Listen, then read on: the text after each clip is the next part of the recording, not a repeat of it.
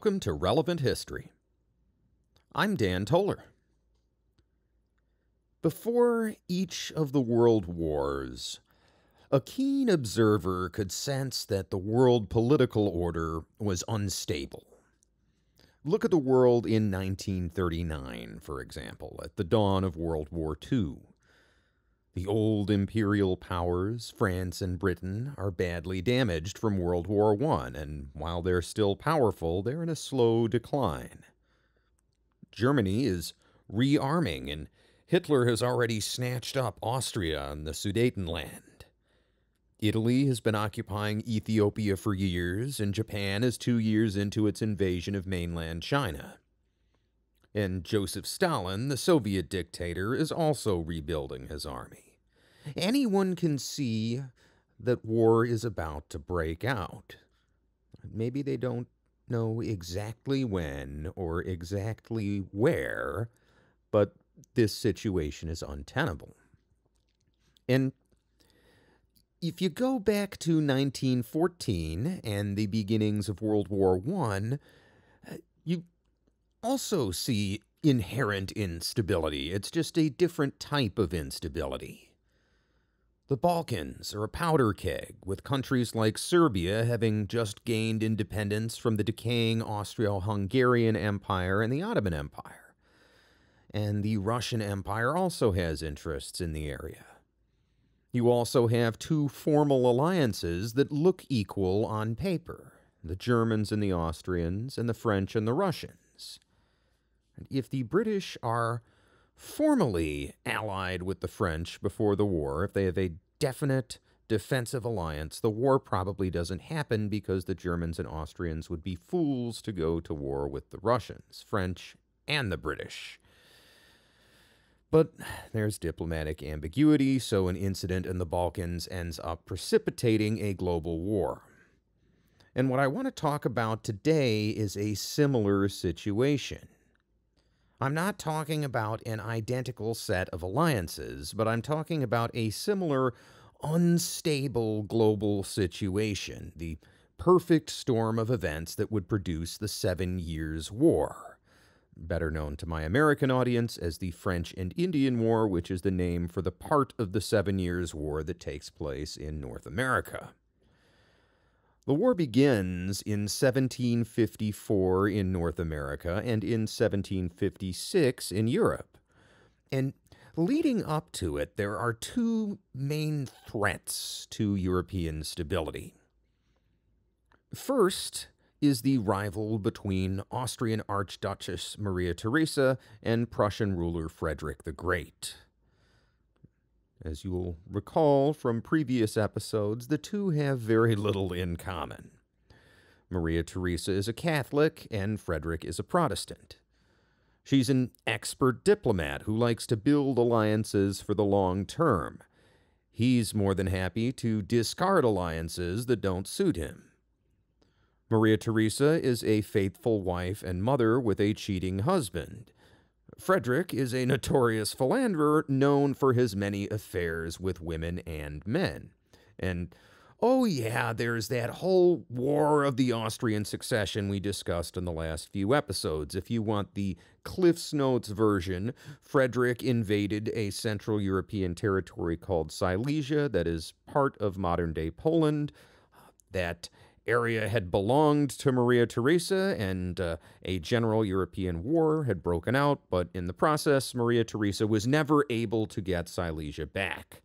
But she remains determined, and she has a new ally this time around in the 1750s. She has the Russian Empress Elizabeth Petrovna. But Maria Theresa still has to worry about Austria's old arch rival the French. And she tries to make France into an ally by working diplomatically through King Louis XV's mistress, Madame de Pompadour. And Frederick the Great of Prussia, who famously calls these three women the first three whores of Europe, he makes his own arrangements by forging an alliance with the British. And in 1756, war is about to break out over Silesia for a second time. And again, if you want to understand the full background in Europe, listen to the last three episodes Prussian Roulette Parts 1 and 2, and No Stable Peace. But the conflict between Maria Theresa's Austria in southern Germany and Frederick the Great's Prussia in northern Germany is just one of the two threats to European stability. The other threat is the conflict between the British and the French, which has simmered ever since the end of the War of the Austrian Succession in 1748, but it has never fully ended. Now, the two nations are officially at peace, but while there is peace in Europe and India, and North American settlements that had been taken during the war are transferred back to their original owners when the war ends, there is still a lot of disputed territory in colonial America. At the time, the British control what is now the U.S. East Coast, with the exception of Spanish controlled Florida. They also own the Hudson Bay Territory in northern Canada, as well as Newfoundland and peninsular Nova Scotia on the Canadian East Coast. The French control the rest of modern day Canada as far west as Lake Winnipeg. From here, south through the Great Lakes in the Mississippi Valley, the French claim most of inland North America. However, there is a dispute over whether the French or the British control the Ohio River Valley, with both sides laying claim to the area. At the end of the War of the Austrian Succession, France and Britain establish a joint commission to resolve the issue, along with some other territorial disputes. However, the commission is not able to reach an agreement. They agree that France is to own the Ohio River watershed, which flows west to the Mississippi, while any land south of the St. Lawrence where the water flows into the Atlantic will belong to the British. But they can't agree on where exactly to draw the line. Where exactly does one watershed end and the other begin? So the two sides engage in a period of intense negotiations with Native American peoples in the area. Right, they are trying to get support from the locals to sort of establish de facto control. Right, this is how the French have gotten to control most of their territory by building diplomatic alliances with various Native American tribes, and then they move in and build some forts, and they are able to trade and uh, catch furs in the area. This has been French policy for some time, and this is something that the British now want to do. And these lands in the Great Lakes and the Ohio River Valley and upstate New York are the territory of the Iroquois Confederacy. And both the French and the British are trying to establish a toehold. Now, traditionally, the Iroquois have been friends with the British, and they have been enemies with several Native American tribes who are friends with the French. So, this area has been hard for the French to kind of get a toehold in, while the British have had successful diplomatic efforts.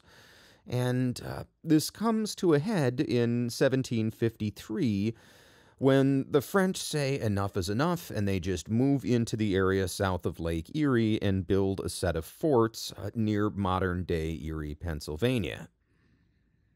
And uh, this follows on the heels of some massacres of the French against the Native Americans, trying to force the Iroquois to agree to their presence, which they won't do. So things are very tense. And when the French start building these forts in Iroquois territory, the local Mohawk chief, uh, Hendrick Theyanoguin, personally travels to notify New York Lieutenant Governor George Clinton that French are in the area and that they have invaded Iroquois land.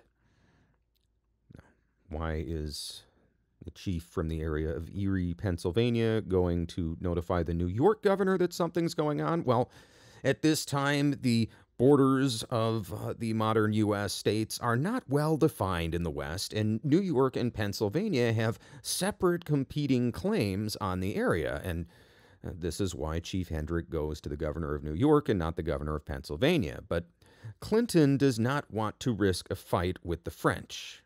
Right? He's a lieutenant governor, not the king, and he doesn't have the authority to start a war. And this makes Hendrick angry. The Iroquois and the British at this time are supposed to have a defensive alliance. Uh, for Hendrick, that should be good enough. Uh, but Clinton instead asks Hendrick to wait for the Albany Congress. This is a planned meeting of several colonial delegates and Iroquois chiefs. And if the Albany Congress agrees to do something, well, that would give Clinton a little bit of political authority to go ahead and maybe do something. But uh, Hendrick doesn't want to wait. He says that's not good enough. The French are moving into his people's lands now and that if Lieutenant Governor Clinton doesn't do something about it, the covenant chain is broken. That is a big deal. The covenant chain is the formal alliance between the British and the Iroquois Confederacy. And while Governor Clinton is trying not to engage in foreign policy here, it seems that he may have lost the British Empire a much needed ally an ally that occupies the Ohio River Valley, this uh, disputed area. Now, in July of 1753, the Albany Congress does indeed meet. And they do a little bit of fence mending with the Iroquois, but the colonies cannot agree on a single set of terms uh, for how this alliance is actually supposed to work. Now, some forward thinking delegates, among them Benjamin Franklin, propose forming a union of colonies with a government of elected delegates overseen by a president appointed by the king. This would make it easier to conduct relations. But this proposal goes nowhere since none of the individual colonies want to give up their own quasi semi independence, right? Better to only have to deal with the king as far as uh, higher political powers are concerned than to have to deal with this uh, colonial council and this uh, president, right? And the British Board of Trade in uh, Britain, which uh, is also a party at the Congress, well, they don't want the idea of a union of colonies either.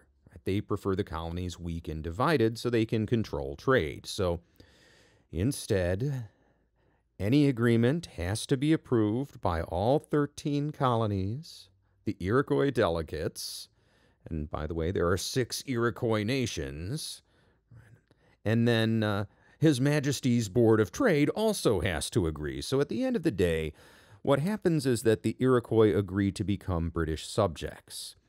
This is a complicated subject in and of itself.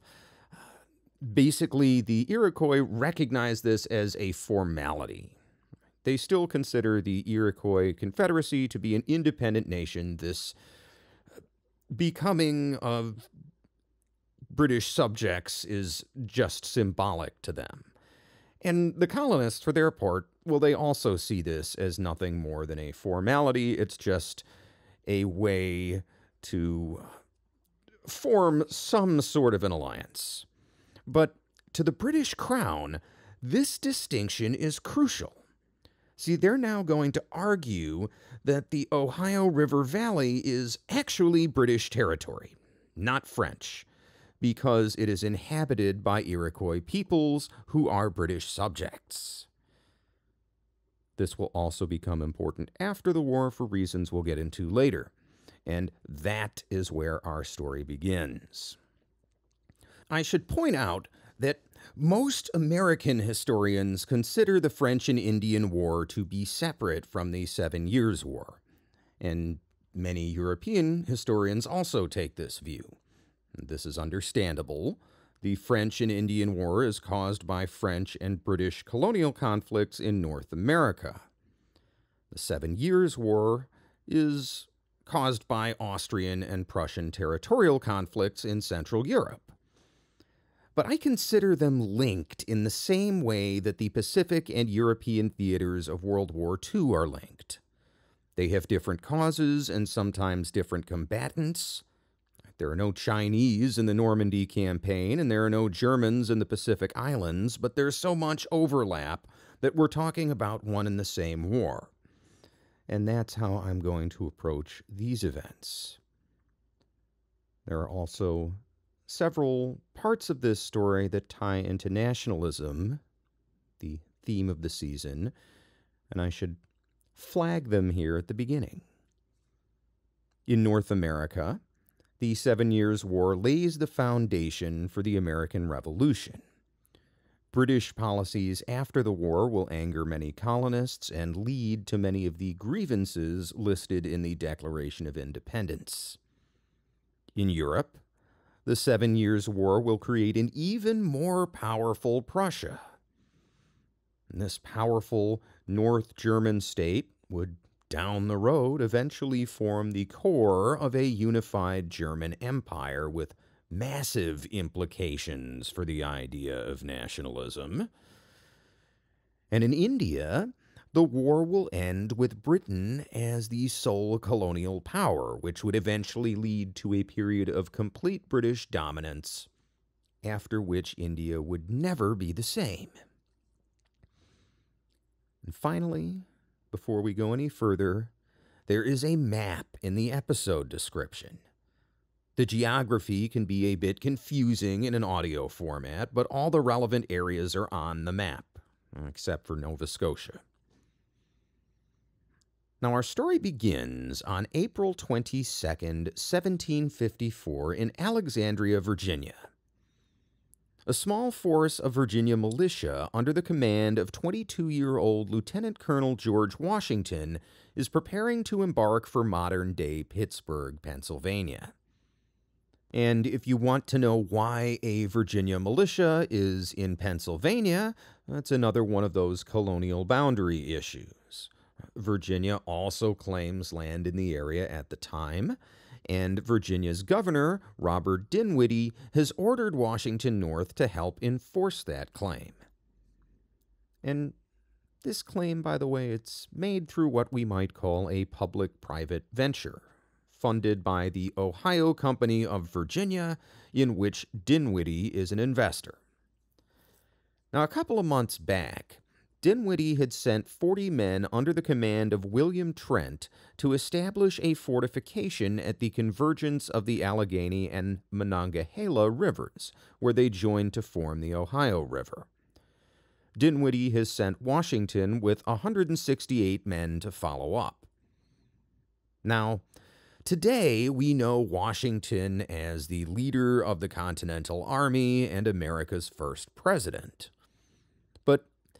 At the time, he's just a young militia lieutenant colonel, albeit one from a wealthy and influential family.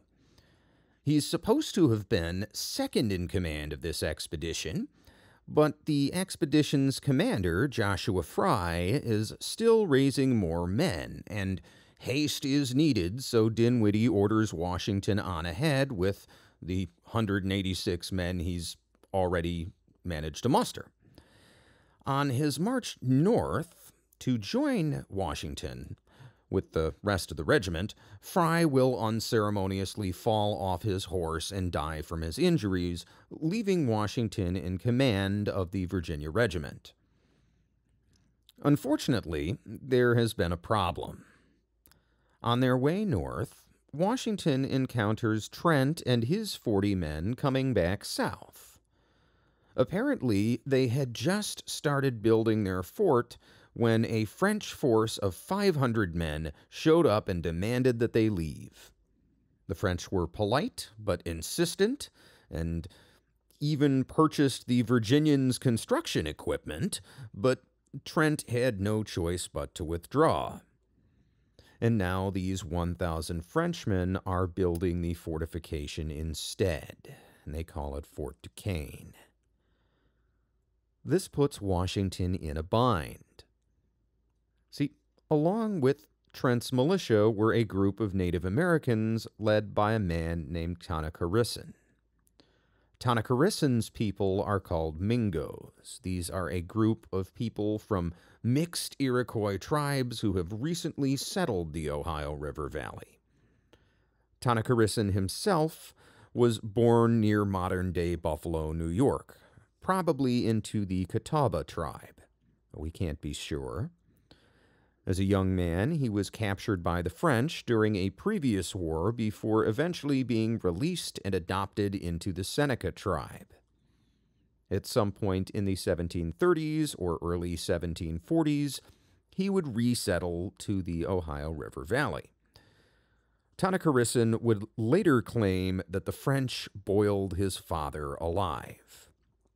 This would be uncharacteristic for the French, who, as we'll see, were generally far kinder colonizers than the British, or especially the Spanish and Portuguese.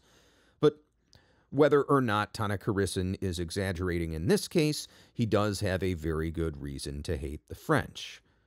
Remember when I said the French had recently massacred some Native Americans in the area?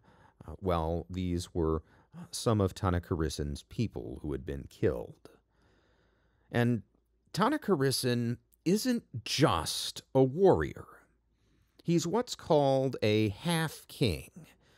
Not a chief, but a major dignitary, analogous to a secretary of state, if you want to fit the idea into a Western system of government.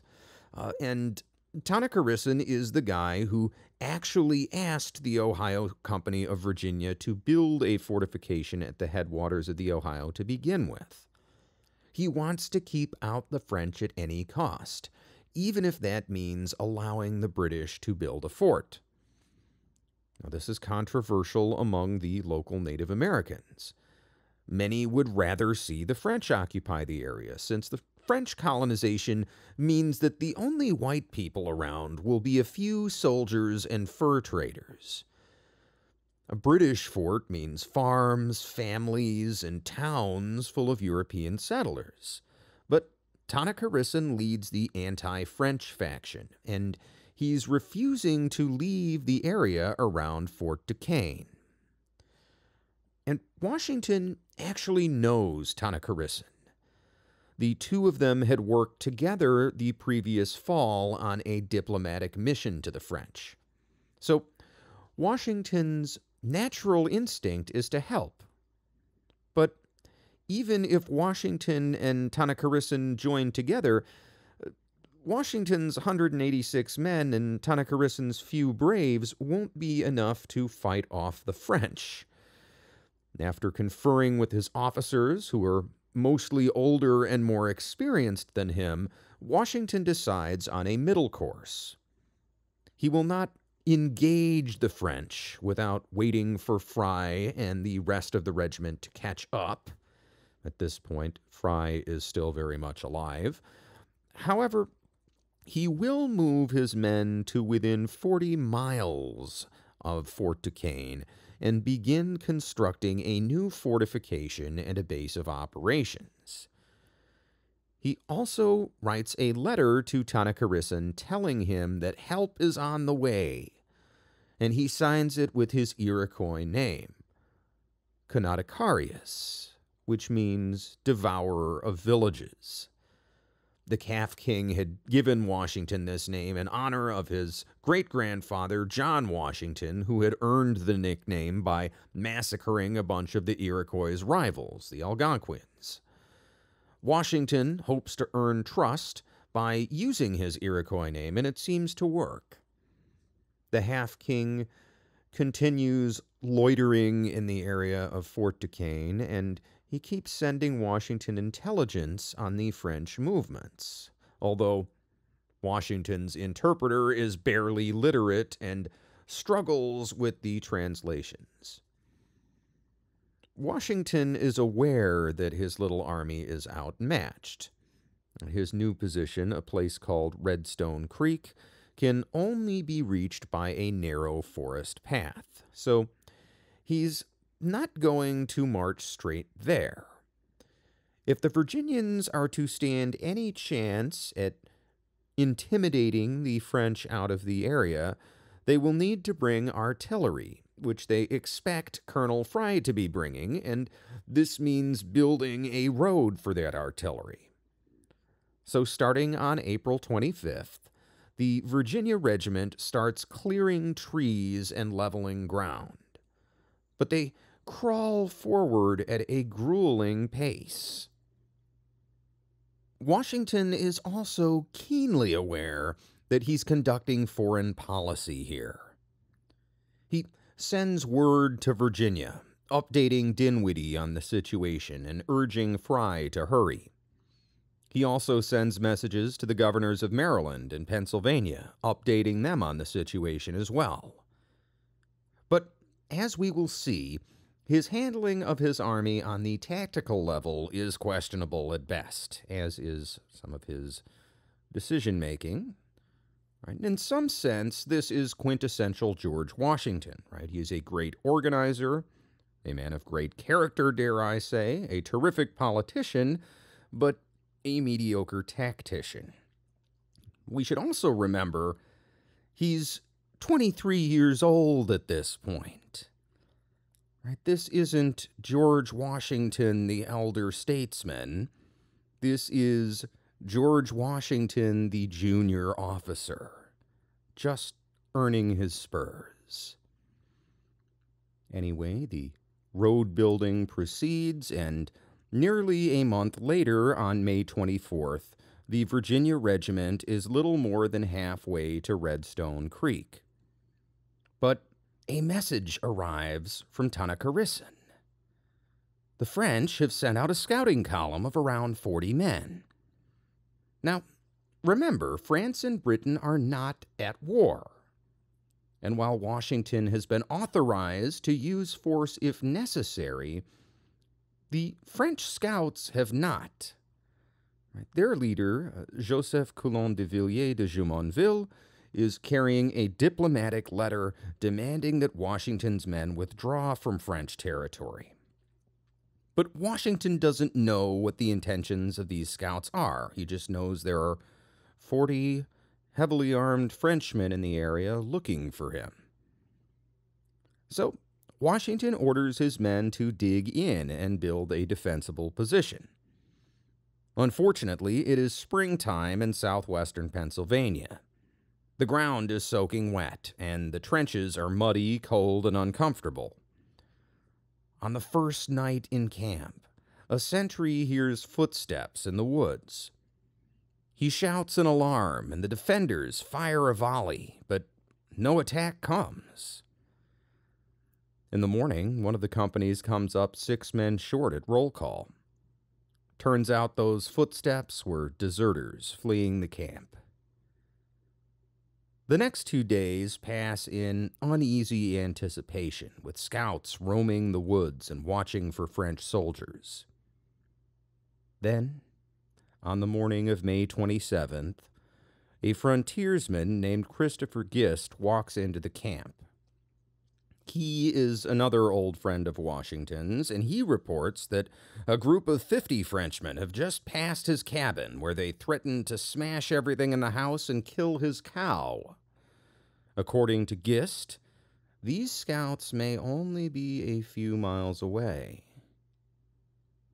Washington immediately orders 75 men to pursue the French. And this is probably foolish 75 Virginia militia are no match for 40 to 50 French regular soldiers in a straight fight. But the militia and the French manage to miss each other in the wilderness. Washington does not know this and can only wait for word. But at 8 o'clock in the evening, a Mingo messenger named Silverheels arrives from the Half King. Tanacharison tells Washington that he has found the French scouts' camp and that he's waiting nearby with 12 Mingo warriors. Washington takes 40 men under his personal command and takes them on a night march of about six miles, following Silver Heels to Tanacharison's position. In the pre dawn light, they can make out around 40 Frenchmen. Jumonville has not posted any sentries, so Washington's Virginians and Tanacharison's Mingo are able to surround the French camp without being detected. It's a rainy night, so the French have stacked their muskets under an overhanging rock to keep them dry. As the Virginians and Mingo approach the camp from opposite sides, a few French soldiers have managed to light fires in the wet conditions and are preparing their breakfasts. What happens next is controversial. Washington's account is brief. He writes, quote, we were advanced pretty near to them, as we thought, when they discovered us, whereupon I ordered my company to fire. Mine was supported by that of Mr. Wagoner's, and my company and his received the whole fire of the French, during the greatest part of the action, which only lasted a quarter of an hour before the enemy was routed. We killed Mr. de Jumonville, the commander of that party, as also nine others. We wounded one and made 21 prisoners, among whom were Monsieur La Force, Monsieur Drouillon, and two cadets. The Indians scalped the dead and took away the most part of their arms. Unquote. Well, that's not very much. How about something a little more colorful? The following account comes from American military historian Edward G. Lengel's excellent book, George Washington, A Military Life. Lengel writes, quote, It was seven o'clock in the morning. Captain Stephen led 20 of the Virginians on one side, and Washington commanded the others. The Half King and his warriors drifted silently from place to place around the perimeter, which progressively shrank as the Virginians crept closer to the campfires. Then, Washington rose from shelter to give the order to attack. He startled an enemy soldier who sounded the alarm. The French scrambled for their guns, and Washington ordered his men to open fire. The battle, such as it was, took no more than 15 minutes. Jumonville's men never had a chance. When the firing stopped, about 10 or 12 Frenchmen lay dead, and two, including Jumonville, were wounded. The large proportion of dead to wounded has led some historians to claim that a massacre took place after the battle, and that Washington covered it up. In fact, the Indians butchered some wounded Frenchmen while the fighting still raged. Far from trying to conceal this, Washington told Dinwiddie that six Indians who lacked muskets had served to knock the poor unhappy wounded in the head and bereaved them of their scalps. Apparently, he thought such behavior was typical. Twenty-one Frenchmen survived as prisoners and one escaped. Only one Virginian had been killed.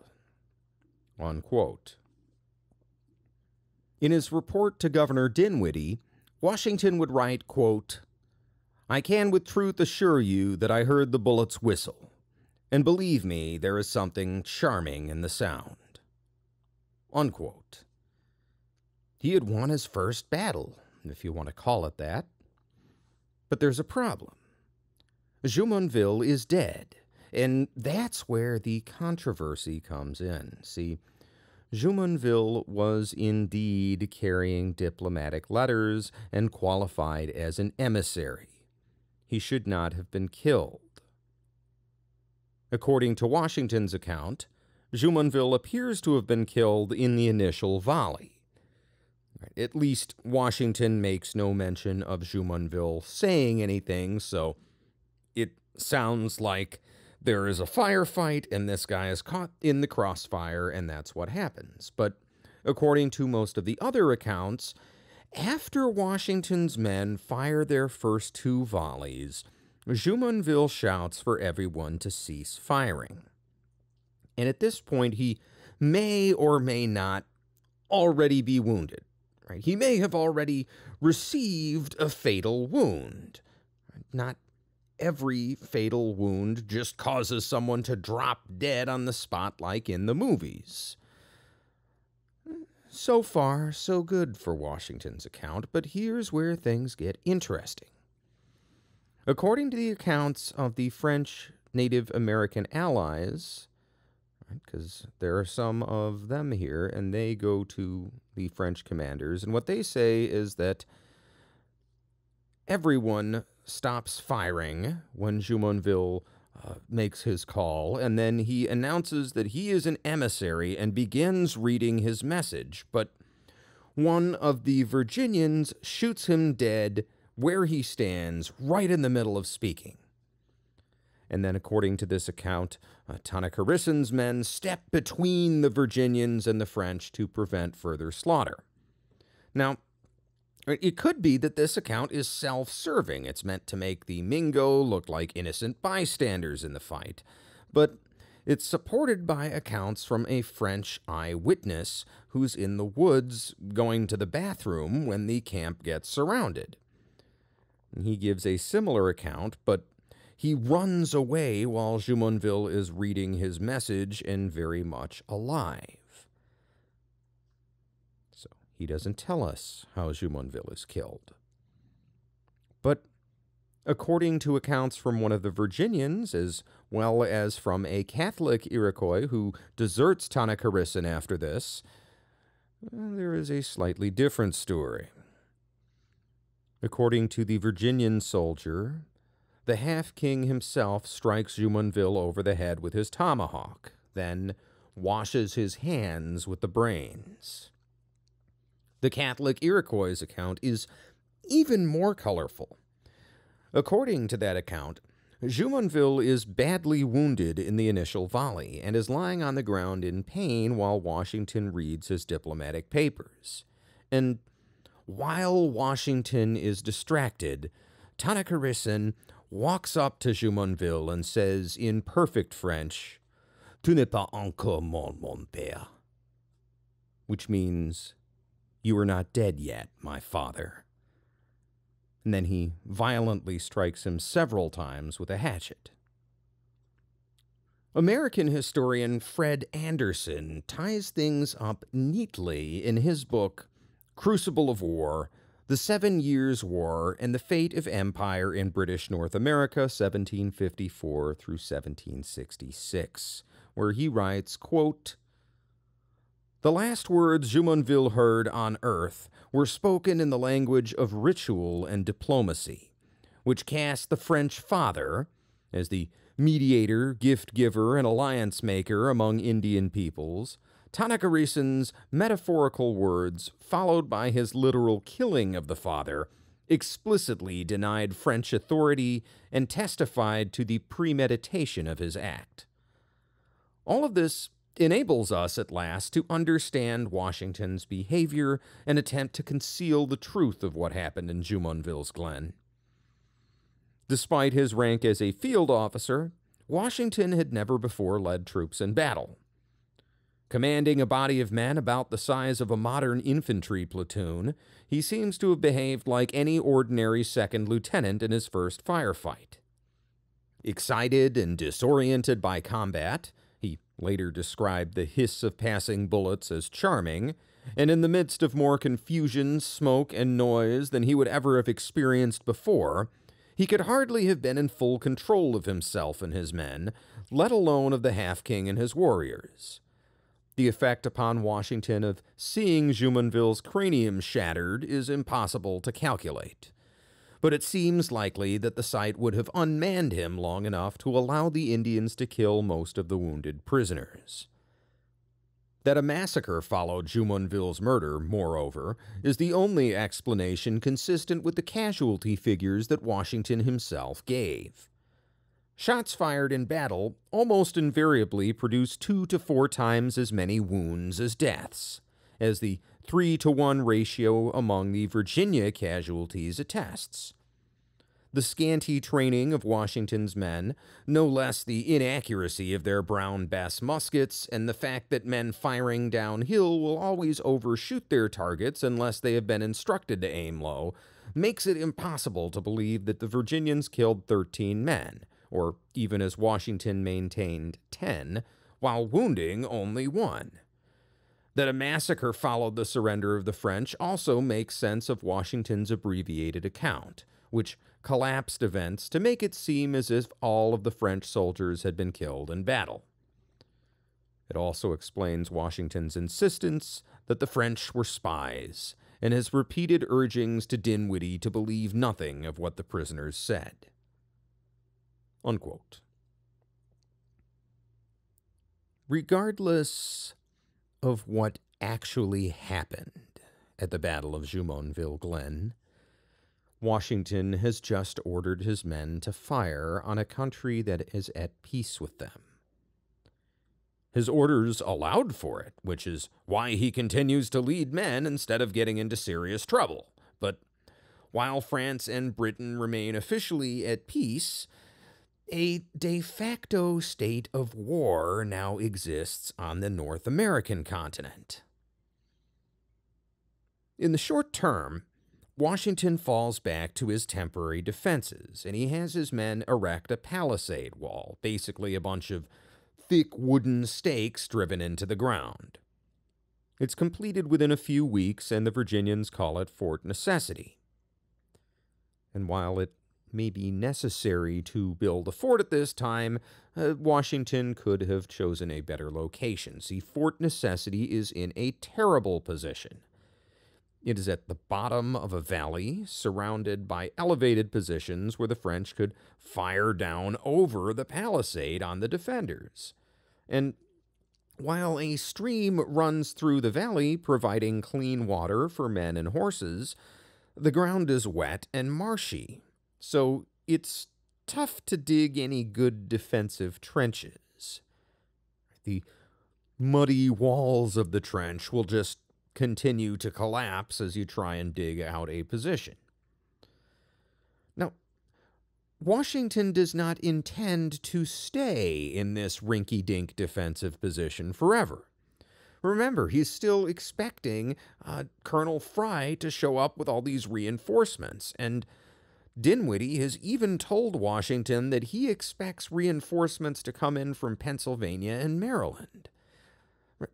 Washington fully expects to be part of a force many hundreds of men strong, with cannons and with more seasoned officers to take overall command. And this force can then complete the original mission, uh, taking control of the Ohio River headwaters, which means knocking the French out of Fort Duquesne. Now, eventually, Colonel Fry's men do arrive, but without Fry, although they do have some small swivel gun cannons. And with no help coming from Pennsylvania or Maryland, Washington decides to make an attempt on Fort Duquesne with the men and guns he has. But again, we get back to the issue of roads. Even trying to haul these small swivel guns through the backwoods trails proves untenable pack horses become injured and need to be put down, and the men start having to haul some of the cannons themselves. Eventually, Tanacharison decides that this is hopeless. Not only is Washington trying to launch an attack against a superior opponent in a strong defensive position, but Washington doesn't work well with the Native American warriors. He expects them to march and fight like Europeans, and he won't take the Half King's advice on how to better employ these soldiers. Finally, the British cause proves unpopular among the Mingo Iroquois in the Ohio River Valley.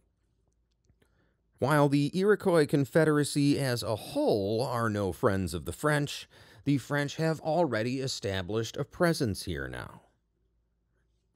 If the Mingo side with the British, they will have to uproot their lives and live as refugees among white British settlers until the French are driven out of their lands. Better to accept the status quo and live in peace.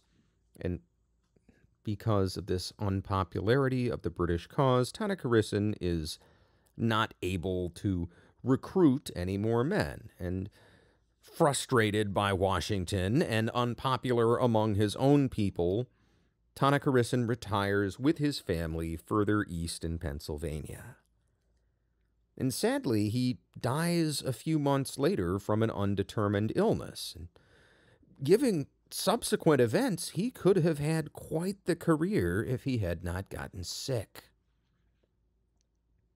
Well, without their native allies, Washington and his officers decide that an attack on Fort Duquesne is hopeless.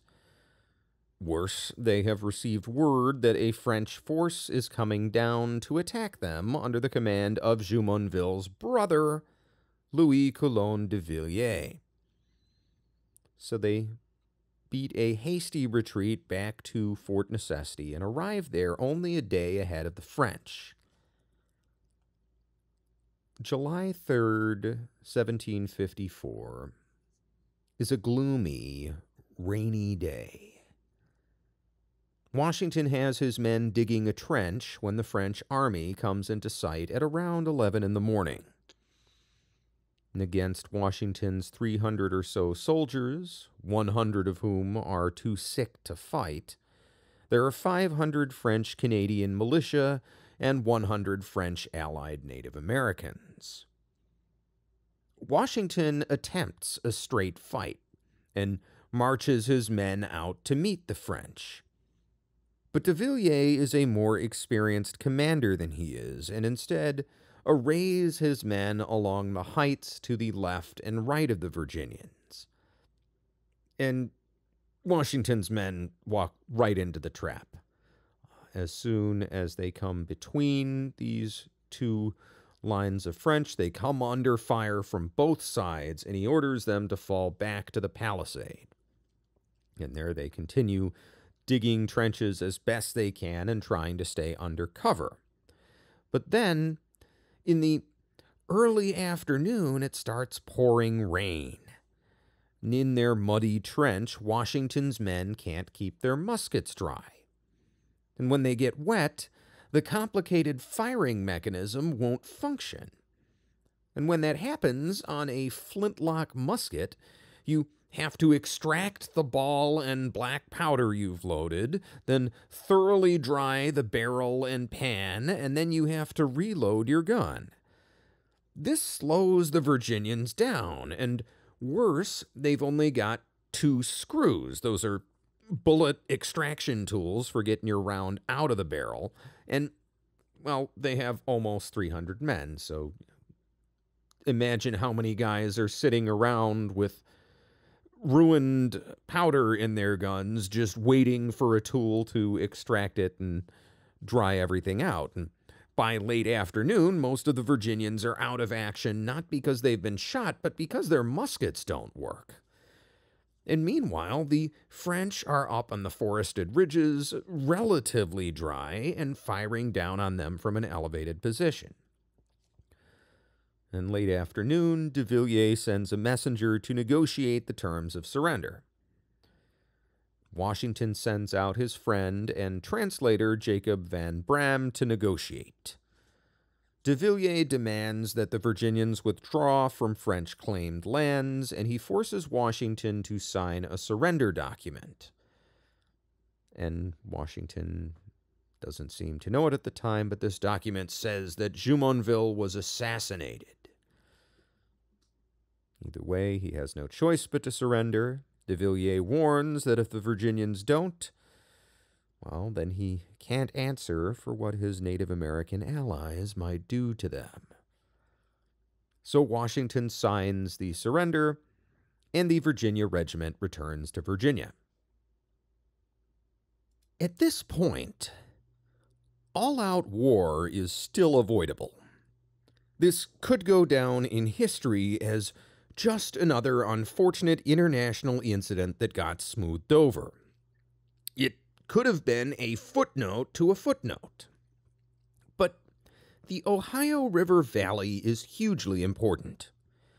Not only is it prime agricultural land, but the French already have a line of forts from the mouth of the St. Lawrence River in the Atlantic all the way to Detroit.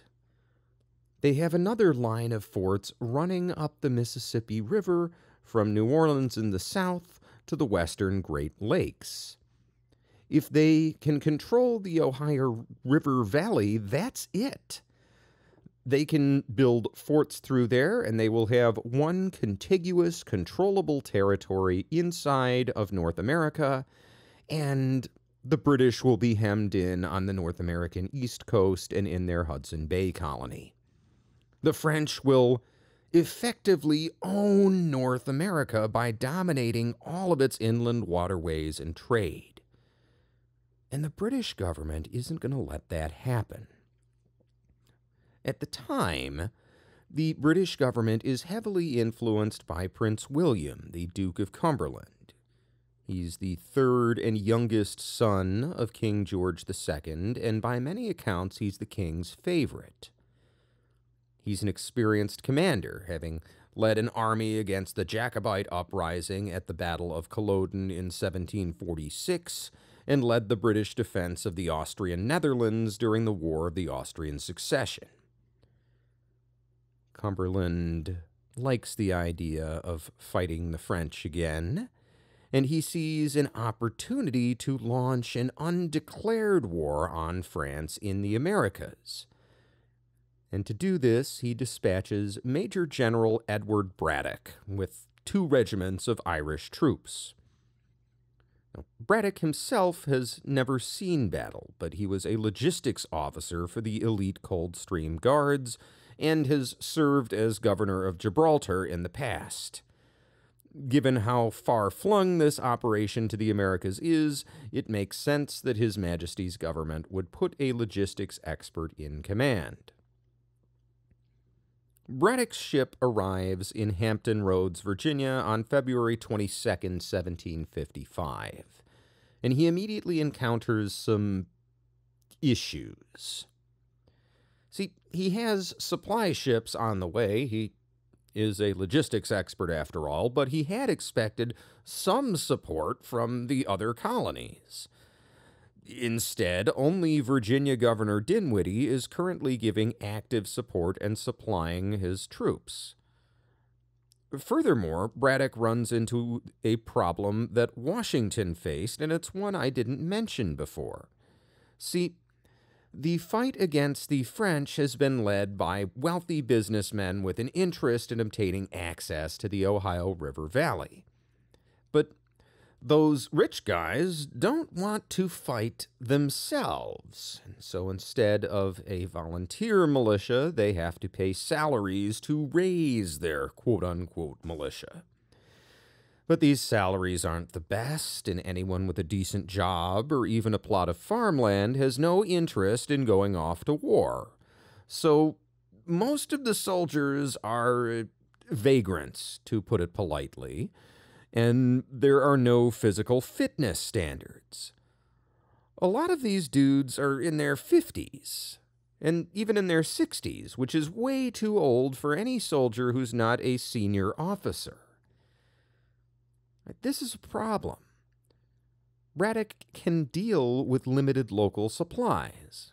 Again, he's already got those transport ships on the way, but he'd planned on raising two more local regiments. And now that he sees the poor quality of the colonial troops, he realizes he cannot employ them the same way he employs his Irish regular troops. Worse, the Irish troops are a little bit under strength, and Braddock had been hoping to fill out his regiments with American recruits, but even the young, fit American soldiers have not been properly drilled and so he can't integrate them into his own regiments. But Braddock does have an ace in the hole. The Royal Navy is already harassing French shipping and has captured two troop ships bound from France to the New World. The French are going to be dealing with supply issues and will have to rely heavily on their native allies, although they are able to successfully send over four regiments of regular army troops this year. In April of 1755, Braddock meets with several colonial governors and their representatives in Alexandria, Virginia. There, he proposes an audacious plan to attack the French on three fronts.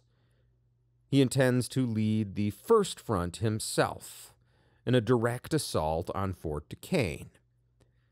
This is an ambitious attack, and he hires 300 men with axes just to clear a serviceable road. Benjamin Franklin has paid for wagons to transport goods, and Braddock is even able to bring 10 cannons with him. However, the Braddock expedition soon becomes a complete disaster.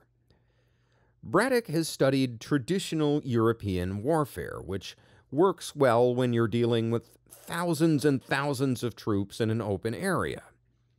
But this is densely wooded terrain, and he's leading around 2,100 men, which is not a large body of troops in European terms. So, when his army is attacked by a smaller combined force of French Marines, Canadian militia, and hundreds of their allied Native American warriors, he clusters his men into groups to fire by rank and that is the right thing to do if you're fighting in an open field. But when you're fighting in dense Allegheny Mountain woodland, massed fire does not work. Right, the Native Americans and the French and the Canadians are fighting from behind cover, and they avoid clustering in groups so as not to present an easy target. Right, you pop out from behind the tree, take a shot, duck back behind the tree, and reload. And the British are still relying on massed fire, which don't work in these conditions, and moreover, the Redcoats' strong discipline works against them. As the French and Native Americans pick off their officers, uh, less disciplined troops would immediately start to run, but these soldiers continue to follow their training and fire by rank. Witnesses write of cases where one guy in a formation thinks he sees an Indian in some bushes, and he fires, and everyone else on the line fires away uselessly because they were trained to all fire together and with small groups of troops trying to maneuver around each other, there are cases of friendly fire where one group continues to fire away even though their friends are trying to march across their field of fire. And within three hours, nearly a thousand men, almost half of Braddock's force, are killed or wounded. Native American warriors now charge in with their tomahawks terrifying the remaining soldiers into a retreat. General Braddock himself would be badly wounded and die later that night. George Washington would later write, quote, The shocking scenes which presented themselves in this night's march are not to be described. The dead, the dying, the groans, lamentations, and cries along the road of the wounded for help were enough to pierce a heart of adamant. The gloom and horror was not a little increased by the impervious darkness occasioned by the close shade of thick woods. Unquote. This battle, called the Battle of the Monongahela, isn't that important to our story, but it's notable for how many famous people are present. In addition to George Washington, prominent Revolutionary War leaders Charles Lee and Horatio Gates are junior officers. Thomas Gage, who will command the British Army in the early part of the American Revolution, also fights in the battle, as do legendary frontiersmen Daniel Boone and Daniel Morgan. So much for the first prong of the British attack. The second prong is far to the north on the Atlantic coast. Massachusetts Governor William Shirley raises a force of 2,000 men to send north to peninsular Nova Scotia. This area on the Atlantic coast is part of what's known as Acadia, which also includes much of modern day New Brunswick. And the entire area is populated by people called Acadians. These are ethnically mixed French and Native American people who are mostly French speaking Catholics. And they make up the majority of the population on peninsular Nova Scotia. Even though this area is officially British, the actual British presence has been limited. It's mostly soldiers, not many civilians, and while the British and the French have officially been at peace these past several years, a priest named Jean Louis Le Loutre has been leading a local rebellion. His followers include not just Acadians, but also many of the local Native American Micmac peoples who prefer French rule to British. Now, this Massachusetts governor, William Shirley, who is organizing the put down of the Acadian Rebellion, he is a deeply committed Puritan with strong anti Catholic leanings. He aims to stop this rebellion once and for all, and to do that, he is going to dispatch this 2,000 man force under the command of Lieutenant Colonel Robert Monckton, who is a colonial officer. And this colonial force reaches Nova Scotia on June 2, 1755, where they are joined by 400 more local troops. Their goal is to attack a recently constructed French fortification called Fort Beausejour. And they have a couple of advantages. For one thing, while the local Acadian population aren't exactly pro British, when French Governor Louis Dupont du Chambon de Vergor calls for Acadians to come to the defense, only around 300 show up. This is despite the fact that Father Jean Louis Le Loutre himself is also at Fort Beausejour. The British also have the advantage of an inside man there, an English doctor named Thomas Pichon, who, for some reason, is employed as the doctor in this French fort. And he has been sending the British detailed information on the defenses so they know exactly what to expect. And finally, a British fleet is blockading the nearby French fortress at Louisbourg, so the French can't expect reinforcements anytime soon from anywhere in North America.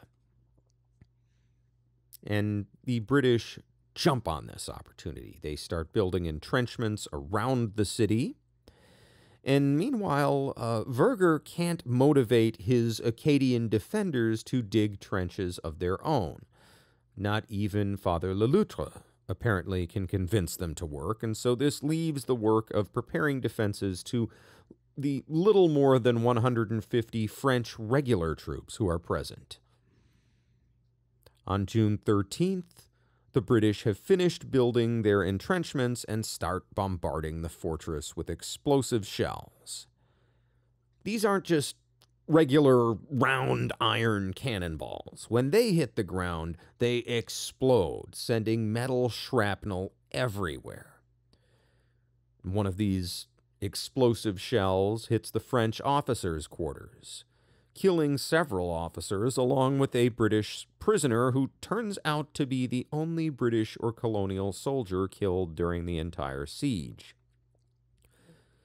Things get worse when word gets out among the Acadians that Louisbourg is under siege and no reinforcements are coming. Vergor was trying to keep that secret, and as soon as it gets out, uh, 80 defenders desert Fort Beausejour on the night of June 14th. And Vergor puts out an order that the men are not to discuss desertion, which seems like a clear sign that things are not going well. And two days later, on June 16th, Vergor orders a surrender. The fall of Fort Beausejour is a big deal. If you picture peninsular Nova Scotia on a map. It's a blob of land that is attached to mainland North America by a narrow stretch of land. Beausejour commands this stretch of land, and the British have now cemented complete control of the peninsula. Worse, two more French forts in the area collapsed soon after eliminating any real French military infrastructure and forcing the French in the area to resort to guerrilla warfare. And moreover, the fortress of Louisbourg is located on Cape Breton Island, which is the other part of modern day Nova Scotia that is north of peninsular Nova Scotia. And with the fall of all other French fortifications in the area, the defenders of Louisbourg are completely cut off. And remember, they are under a British naval blockade. If Louisbourg falls, France will lose total control of the area around the mouth of the St. Lawrence River, which is their gateway to North America and the Great Lakes region. There goes that entire line of forts along the St. Lawrence River inland to the Great Lakes, right? If you can't control access to the St. Lawrence River, if in fact the British are controlling that, well, then you can't supply any of those forts. This is a big deal for the French. As for Father Le Loutre, the leader of the Acadian rebellion, such as it is, well, he burns down the cathedral at Beausejour as soon as he hears of the surrender, rather than let the building fall into British hands. He then flees inland to Quebec, but later he is caught by the British and imprisoned until after the war. He will spend his final days in France working to assist Acadian refugees. Oh, yes, there are going to be quite a few of those. See, at Governor Shirley's urging, Nova Scotia's provincial council and Lieutenant Governor Charles Lawrence are quick to follow up on the victory. On August 11, 1755, they issue a ruling that all Acadians and Native Americans are to be expelled from the territory. And this is right in line with the overall anti Catholic, strongly Puritan bent of William Shirley's campaign. Even Acadians who have sworn an oath of loyalty to King George are summarily deported.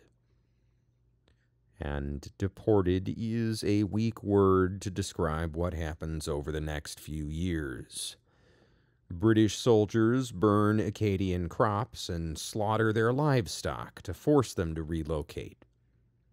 Micmac and other local tribes who are allies of the Acadians attack British soldiers and colonists, and the French put out a bounty on British scalps, which predictably leads to massacres by Native Americans and reprisal massacres by the British. And by the end of the war, the Native Americans in the area will be all but gone, and so will the Acadian population. Instead, their farms will be taken over by New England colonists. It's not quite genocide. Most of the people are deported or driven off rather than killed outright. Uh, but it's disturbingly close to what we would call ethnic cleansing today. As for the Acadian people, well, they'll end up all over the place. Many will be deported to the 13 colonies, where British authorities disperse them throughout the general population, so there's no major Acadian population center where people can start mischief. Many are sent to England, even. And a large number are deported back to France. Now, some of those who are sent to France resettle there in Europe, and the French King Louis XV even offers free land to displaced Acadians. But many who return to France still long for the frontier life, and so they resettle down to Louisiana in the Mississippi River Delta. And over time, the word Acadian becomes Cadian, which becomes Cajun. And that is where you get the Cajun people. Now, the third prong of this you know, three pronged British strategic offensive against New France, well, it is going to come in upstate New York. And because Braddock's war plans are absurdly complicated, this central prong of the attack is actually going to be a two pronged attack in and of itself. First, William Shirley will personally lead an army west to capture the French fortifications at Fort Niagara. This will achieve two goals. First, it will cut off supplies to the French forts further inland along the Great Lakes, but more importantly, it cuts off the route of supplies for Fort Duquesne, which is that fort at modern day Pittsburgh where the first prong of the attack was targeted. Unfortunately for Shirley, General Braddock's papers had been left behind in the retreat at the Monongahela, and these papers included the entire British war plan for 1755. Shirley, in turn, also learns that the French are planning to attack his own fortifications at Fort Oswego on Lake Ontario this would actually cut the British off from a lot of Native American trade, right? They wouldn't be able to reach the Great Lakes, at least not very easily. And so instead of continuing with the planned assault west on Fort Niagara, Shirley instead decides to fortify Fort Oswego with as many men and weapons as possible. The other half of this attack in New York is to come at Lake Champlain, far to the north. Taking the French fortifications there would allow the French to directly threaten Montreal the next year. And to lead this attack, the British choose one of the most interesting people I've ever read about, uh, Sir William Johnson. Johnson had immigrated to New York from Ireland in 1738 and was working for his uncle to establish a trading post west of Albany along the Mohawk River, which runs into the Hudson from far west in Mohawk country. That's a major Native American trading route. And Johnson soon discovers that an area on the north side of the river has even more trade than this area his uncle had sent to in the south. And so he buys his own land to the north of the river to trade with the natives. And this allows him to get the best prices and the best goods, since he is much closer to the Mohawk than the merchants downriver in Albany. And while he is living on the frontier as a trader, he soon becomes a good friend to the Mohawk tribe, which he is part of the Iroquois Confederacy, and he learns their language, and he is famous for having many lovers and children of both European and Native American descent. In his will, Johnson even acknowledges heirs from one of his Native American mistresses, which is something few British nobles would ever consider. The Mohawk have even given him an honorary title as chief along with the Iroquois name Warraghiyagey, which I've seen translated both as a man who undertakes great things and chief big business. I don't know about you, but I like chief big business better. Has more of a ring to it. Now, Johnson is given two tasks First, he is to rally as many Native American soldiers as he can to augment the local colonial troops. This will hopefully be easy for him since he's good friends with Chief Hendrick, who we've already talked about. They actually have a lot in common. While William Johnson is a European who is assimilated to Native American culture, Chief Hendrick is a Native American with the Iroquois name Theyanoguin, but he's assimilated to European culture. He has even been to England twice. Anyway, Johnson's second task is to advance north to Lake George, which is north of Albany but south of the French held Lake Champlain. He can establish a base of operations there, and since Lake George drains into Lake Champlain, he can easily transport his army the rest of the way by water. And again, a picture is worth a thousand words. I could describe the geography here ad nauseum, but it's really best if you look at the map, which again is in the episode description. As far as raising help among the Iroquois goes, Johnson's efforts are mostly a failure.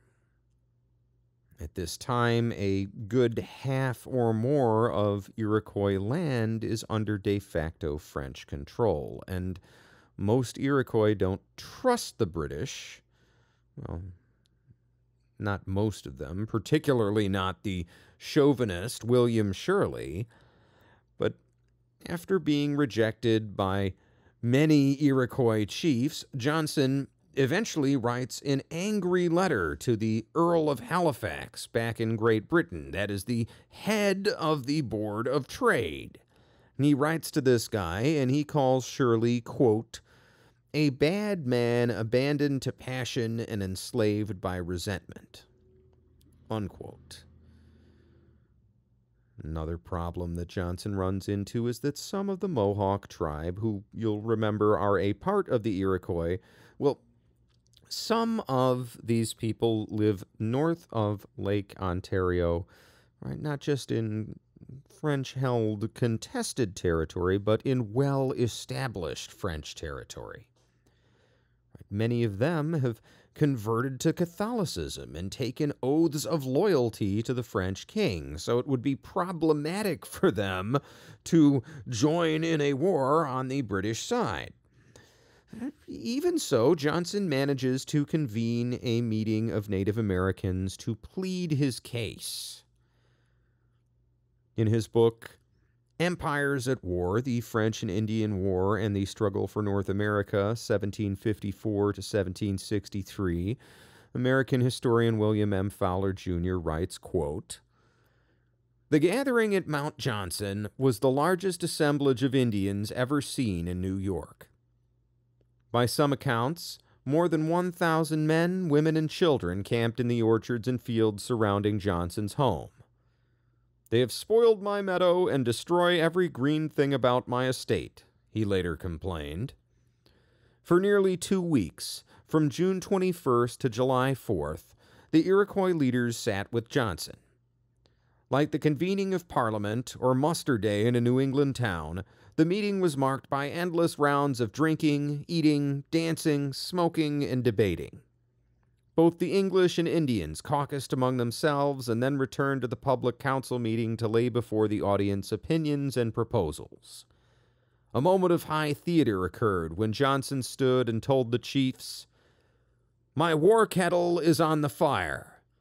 My canoe is ready to put into the water. My gun is loaded, my sword by my side, and my axe sharpened. I desire and expect you will now take up the hatchet and join with us. Johnson's impassioned rhetoric notwithstanding, the nations meeting at Mount Johnson were not yet ready to charge into the war. Their natural reluctance to commit themselves ripened to deep skepticism when the incoherent, unexpected, unintelligible, not to be credited damned bad news of Braddock's disaster came up the river. In spite of the ill tidings, the elderly Mohawk chief Hendrick remained Johnson's faithful friend. Unquote. So, Johnson has a relatively small pool of willing Native Americans to recruit and he ends up only being able to recruit around 300 men, uh, most of them followers of Chief Hendrick.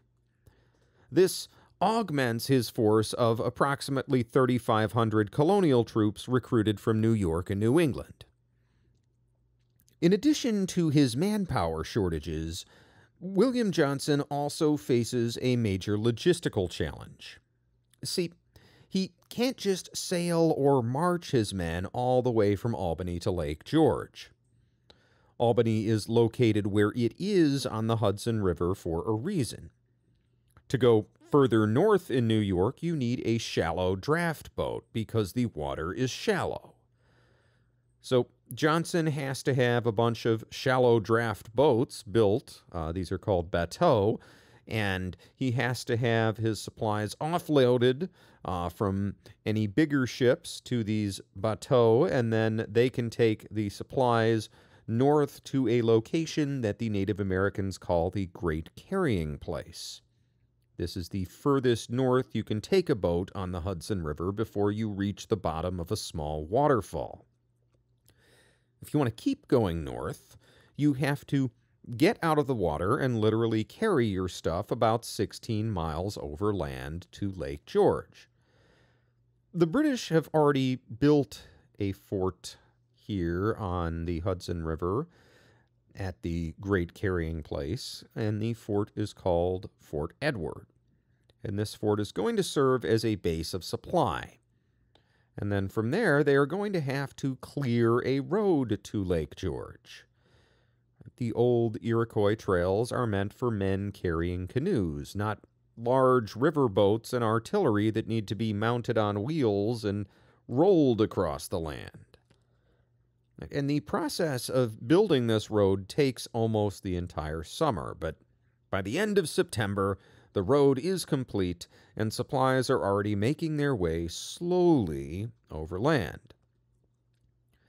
At this point, Johnson has come to the conclusion that an attack on the French Fort St. Frederick on Lake Champlain is not going to be practical this year. He wants to build another fort or two on the shore of Lake George to protect his supply lines, and he wants to build a river galley to augment his forces. This is going to take until next year. And I should point out that Johnson comes to this conclusion because he, like Shirley, is aware that the French know of his plans. He had previously been hoping to take them by surprise, but since Braddock managed to leave behind the entire British war plan. Give him some credit, he was shot, but since his plans were lost, uh, there is now no chance of taking the French by surprise. In fact, the French are far more prepared than even William Johnson expects. German born French general Ludwig August von Dieskau is leading a 1,500 strong mixed force of Native Americans, Canadians, and French regular troops south from Lake Champlain to take the fight to the British. And this Dieskau guy is a lot like William Johnson in that he has a lot of faith in his Native American warriors. He's not like most of the British officers we've talked about who have little to no trust in native troops. A lot of these guys are frankly pretty racist and think of the Native Americans as savages who could never go toe to toe with disciplined European soldiers. But Dieskau does something that is unprecedented in colonial warfare. He leaves most of his French regulars in charge of guarding Fort St. Frederick. And only takes 200 elite grenadiers with him on his attack, relying mostly on a few hundred militia with a large body of native soldiers. When you think about it, this approach makes sense. The French regulars are familiar with European warfare and technology and artillery, which will be important if any British force attacks Fort St. Frederick when Dieskau is away. Right? Those men will have to man the walls and fire the cannons. Meanwhile, the Native Americans in his army know the lay of the land, and they're skilled at fighting from behind cover in small groups, which, again, is crucial when you're fighting in the woods. It shows us that Dieskau values his native allies as more than just garrison troops. Dieskau and his men do not come by water. They instead march over land past Lake George circumventing Johnson's main army, which by this point is camped on the lake shore. Late in the afternoon on September 7, 1755, Dieskau's men arrive at the Portage Road, several miles south of Lake George, but only three miles north of Fort Edward. Dieskau wants to attack the lightly defended fort directly. This would have two effects. First, it would cut off Johnson's supply lines entirely, trapping his army in French territory where they could be forced to surrender. Secondly, if the French can control Fort Edward, they can send an army downriver by boat to threaten Albany itself, which would block the British out of the Great Lakes region entirely. But Dieskau's Native American soldiers flat out refuse to attack the fort, which has tall, strong walls and which they rightly believe will be defended by cannons. On the other hand, the camp at Lake George is only defended by a breastwork. That's a chest high wooden wall reinforced with an earthen berm on the outside. So, Dieskau agrees to march north along the road and attack Johnson's army the following day. But Johnson gets word from a scout that there is a French army in the vicinity of Fort Edward. He assumes that Dieskau is going to attack the fort, not the camp, so on the morning of September 8th, he dispatches a substantial force to reinforce the fort. This force includes 1,000 colonial troops under Colonel Ephraim Williams of Massachusetts and an advanced scouting and skirmishing force of 200 Mohawks commanded by Chief Hendrick. Returning to William J. Fowler's book, quote, Dieskau knew they were coming, for a deserter whom his men had captured on the road earlier that morning had told them of the column's advance. Now he blocked the road with his grenadier companies and positioned his Canadians and Indians in ambush ahead of them, choosing a spot about four miles south of the lake, where the road dipped to pass along the floor of a ravine. Moving hurriedly, without flanking parties deployed because they did not expect to meet enemies until they neared Fort Edward, Hendrick's Mohawks and Williams Provincials blundered into the trap a few minutes after 10. Old Hendrick, at 75, the veteran of more than half a century of warfare and diplomacy, stopped when someone called out from the trees. Since the Canadian Mohawks and their New York kin generally refuse to shed one another's blood, it seems likely that a Caughnawaga warrior was trying to warn him of his peril. But Hendrick's reply was cut short when, from another quarter, a shot rang out, triggering a general exchange of fire in which he and about 30 other Mohawks were killed. Within the jaws of the ambush and exposed to musketry on both flanks, Colonel Williams tried to lead an assault up a bank of the ravine. He too was killed, together with about fifty of his men. Thus began the first skirmish of the Battle of Lake George, an episode New Englanders would come to call the Bloody Morning Scout. In size and position, the forces engaged were similar to those at the Battle of the Monongahela, but the outcome was quite different. The Mohawks, who had survived the first exchange of shots, quickly began a measured retreat fighting their way to the rear along with perhaps a hundred of William's provincials. The rest of the column, provincials unencumbered by the discipline that had doomed Braddock's regulars to stand their ground, ran for their lives.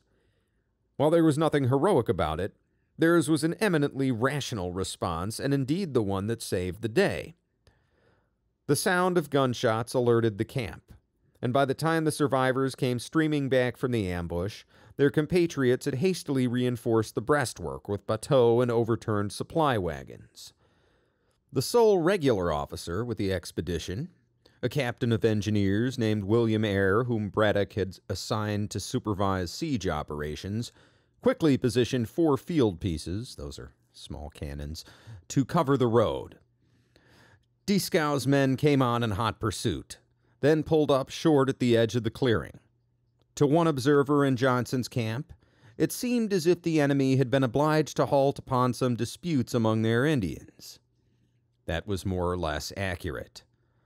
The Caughnawagas had lost their leader, for Legardeur de Saint Pierre had been killed in the ambush. Now they did not wish to attack an entrenched camp, the defenders of which included hundreds of their Mohawk kinsmen. The Abenakis would not go forward without the Caughnawagas, and neither would the Canadians, who in general regulated themselves by the conduct of the Indians when upon war parties with them. Dieskau seized control of this shaky situation by ordering his two grenadier companies to form a close order column and charge the guns at the entrance of the camp. He intended to shame the wavering Indians and Canadians into attack, directing them to disperse around the perimeter of the camp and fire from the cover of logs and stumps. He gave orders to swarm over the breastwork whenever the opportunity presented itself. From the edge of the clearing to the mouth of Captain Eyre's battery was perhaps a 150 yards. Dieskau's grenadiers, the biggest, most imposing men of the Languedoc and Lorraine regiments, among the best soldiers in the French army, charged along the road across the clearing with bayonets fixed, six abreast, and a column a hundred yards long. Magnificent in white uniforms and disciplined as only the cream of Europe's proudest army could be, they were not halfway to their goal when the grape shot charges of the English guns cut lanes, streets, and alleys through them, annihilating their order and forcing them back. From cover at the edge of the woods, the Indians and Canadians fired steadily at the defenders through much of the afternoon, but with little real effect. Dieskau, who sustained a crippling wound, remained on the field, but the failure of the charge and the loss of Lagardeur had doomed the attack. After four or five hours of increasingly uncoordinated firing, his men began to retreat without order. Unquote. Meanwhile, Johnson's sub commander at Fort Edward, Colonel Joseph Blanchard, sees the smoke of battle in the distance and sends out a party of 120 men to see if they can help. As they move north along the road, these men run into the French camp, which is only lightly defended. They quickly overwhelm the defenders and capture all the French supplies. Then, they see a body of 300 French soldiers, most likely mixed Canadians and Native Americans, retreating from the main battle. So the British captain orders his men to hide in the woods outside the camp. When the French are all inside the camp, the British open fire from all directions. A few French manage to escape, but most are killed or captured.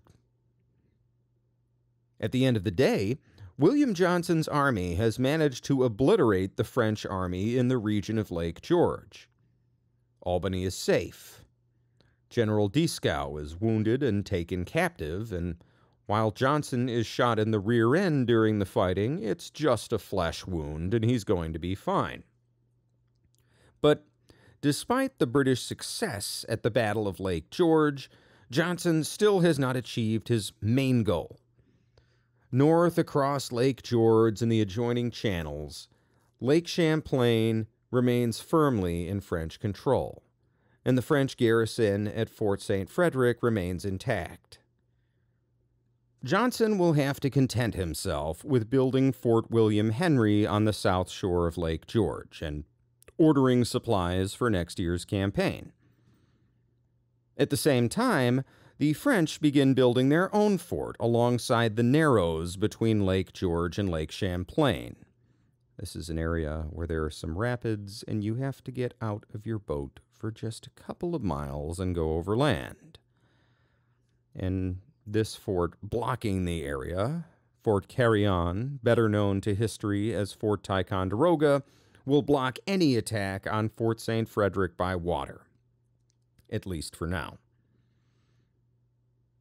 The 1755 campaign season is at an end, and January of 1756 brings significant changes.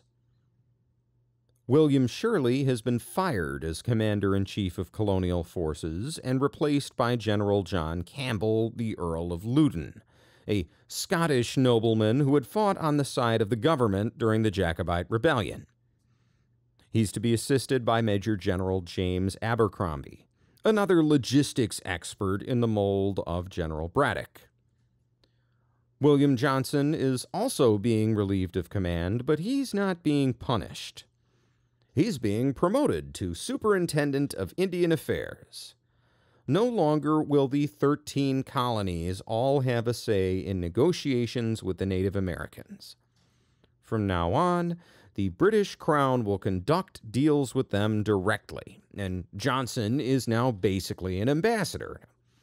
That said, most of his ambassadorial duties involve convincing the Iroquois to fight with the British.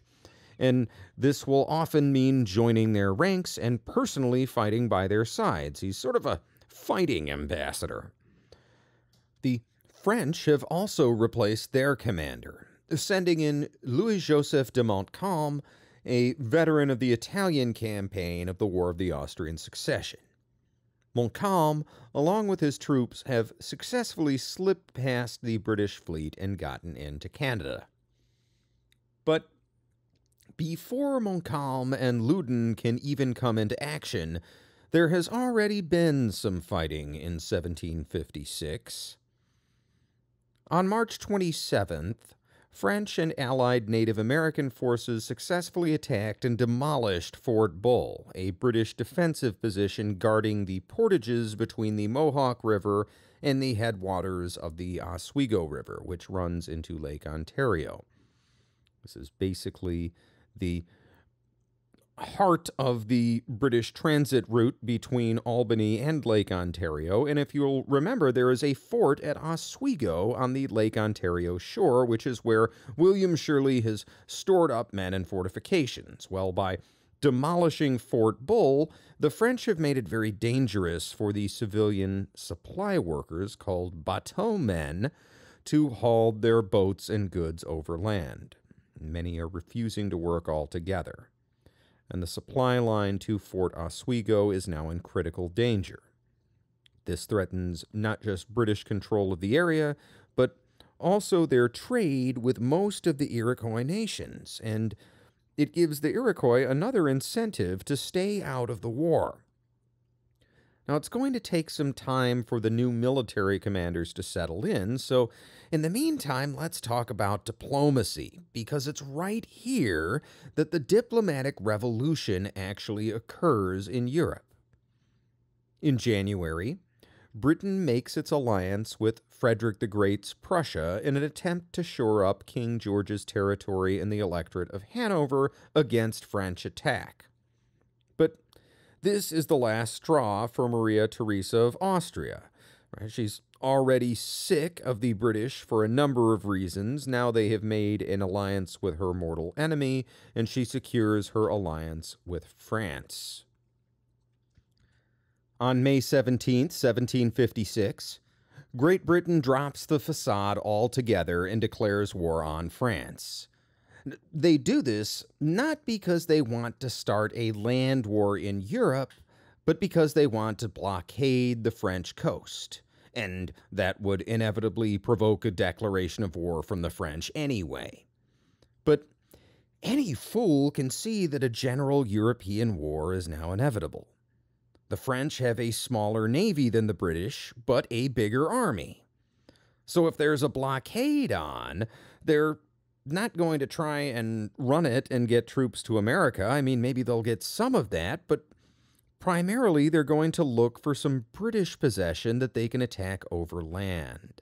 And Hanover is not that far from France, which makes it an obvious target.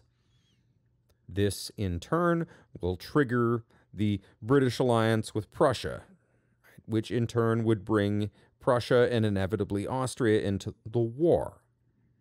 Now, as we'll see in the next episode, that is not exactly how it goes down.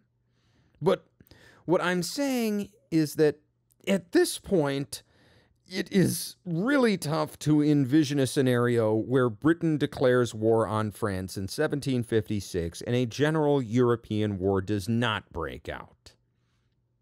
We are on the brink here in Europe, no matter how you cut it. Now, let's get back to the situation in the Americas.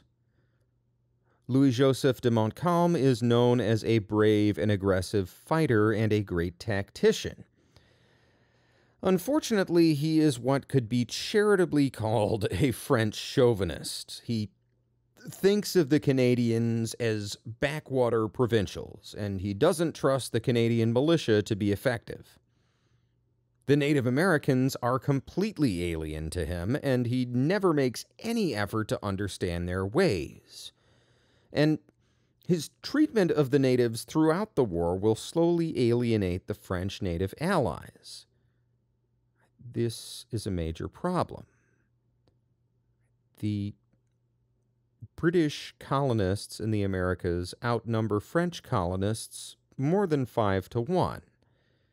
The greatest strength of the French in North America is their strong relationship with the Native Americans. This includes the Algonquin tribe, the Mi'kmaq, the Lenape, the Ottawa, the Shawnee, the Abenaki, and the Algonquian speaking tribes of the Wabanaki Confederacy. Pretty much the only tribes the French aren't on great terms with are the Six Nations of the Iroquois Confederacy. And the French have managed to do this because of the way they've treated the Native Americans.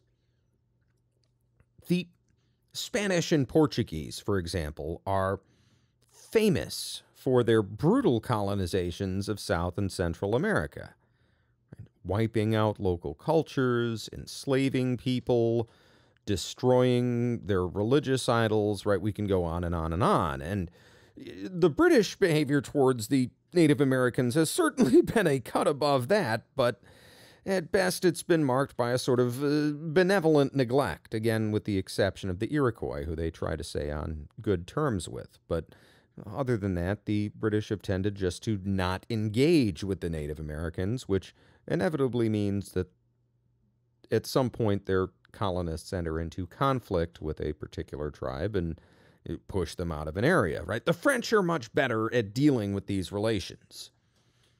They have dealt with the natives in a totally different way, with a few exceptions, some of which we've covered in this episode. They have pursued a policy of trade and peaceful relations. Native Americans are encouraged to convert to Catholicism, and many French missionaries go to North America.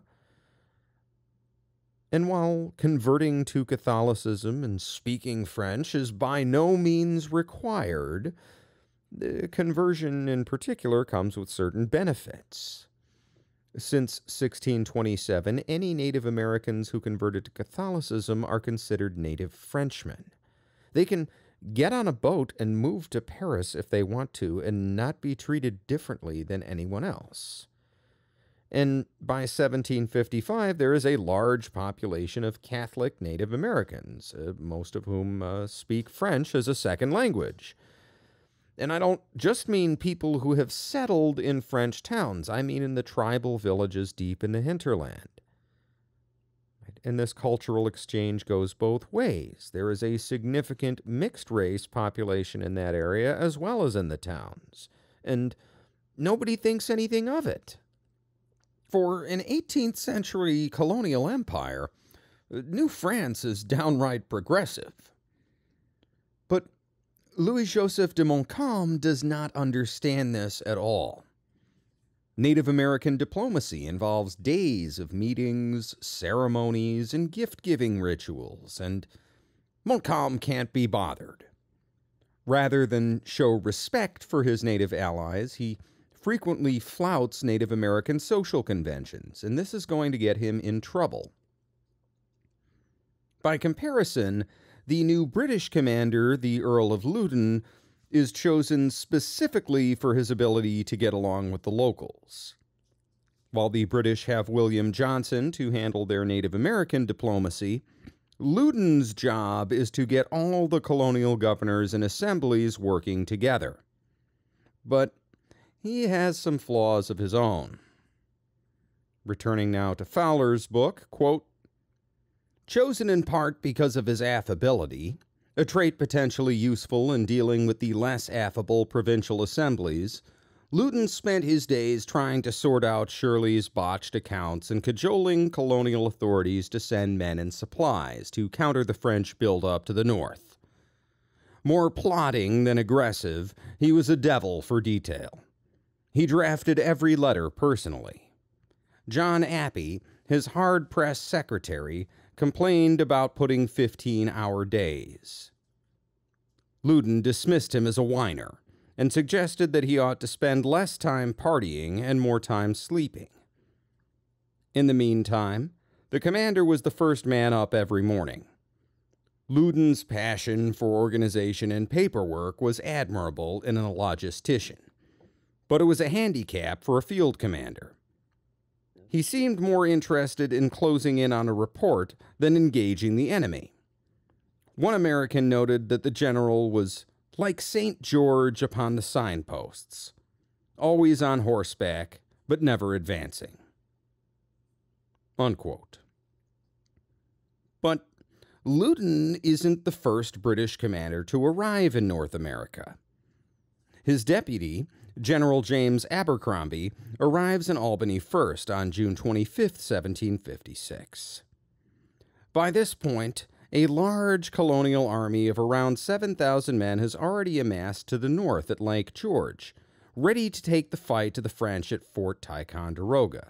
I'm sorry, it's still Fort Carillon. Anyway, uh, the situation at Fort Oswego is deteriorating at the same time. Right? This fort is far to the west, they're cut off, and the situation is desperate.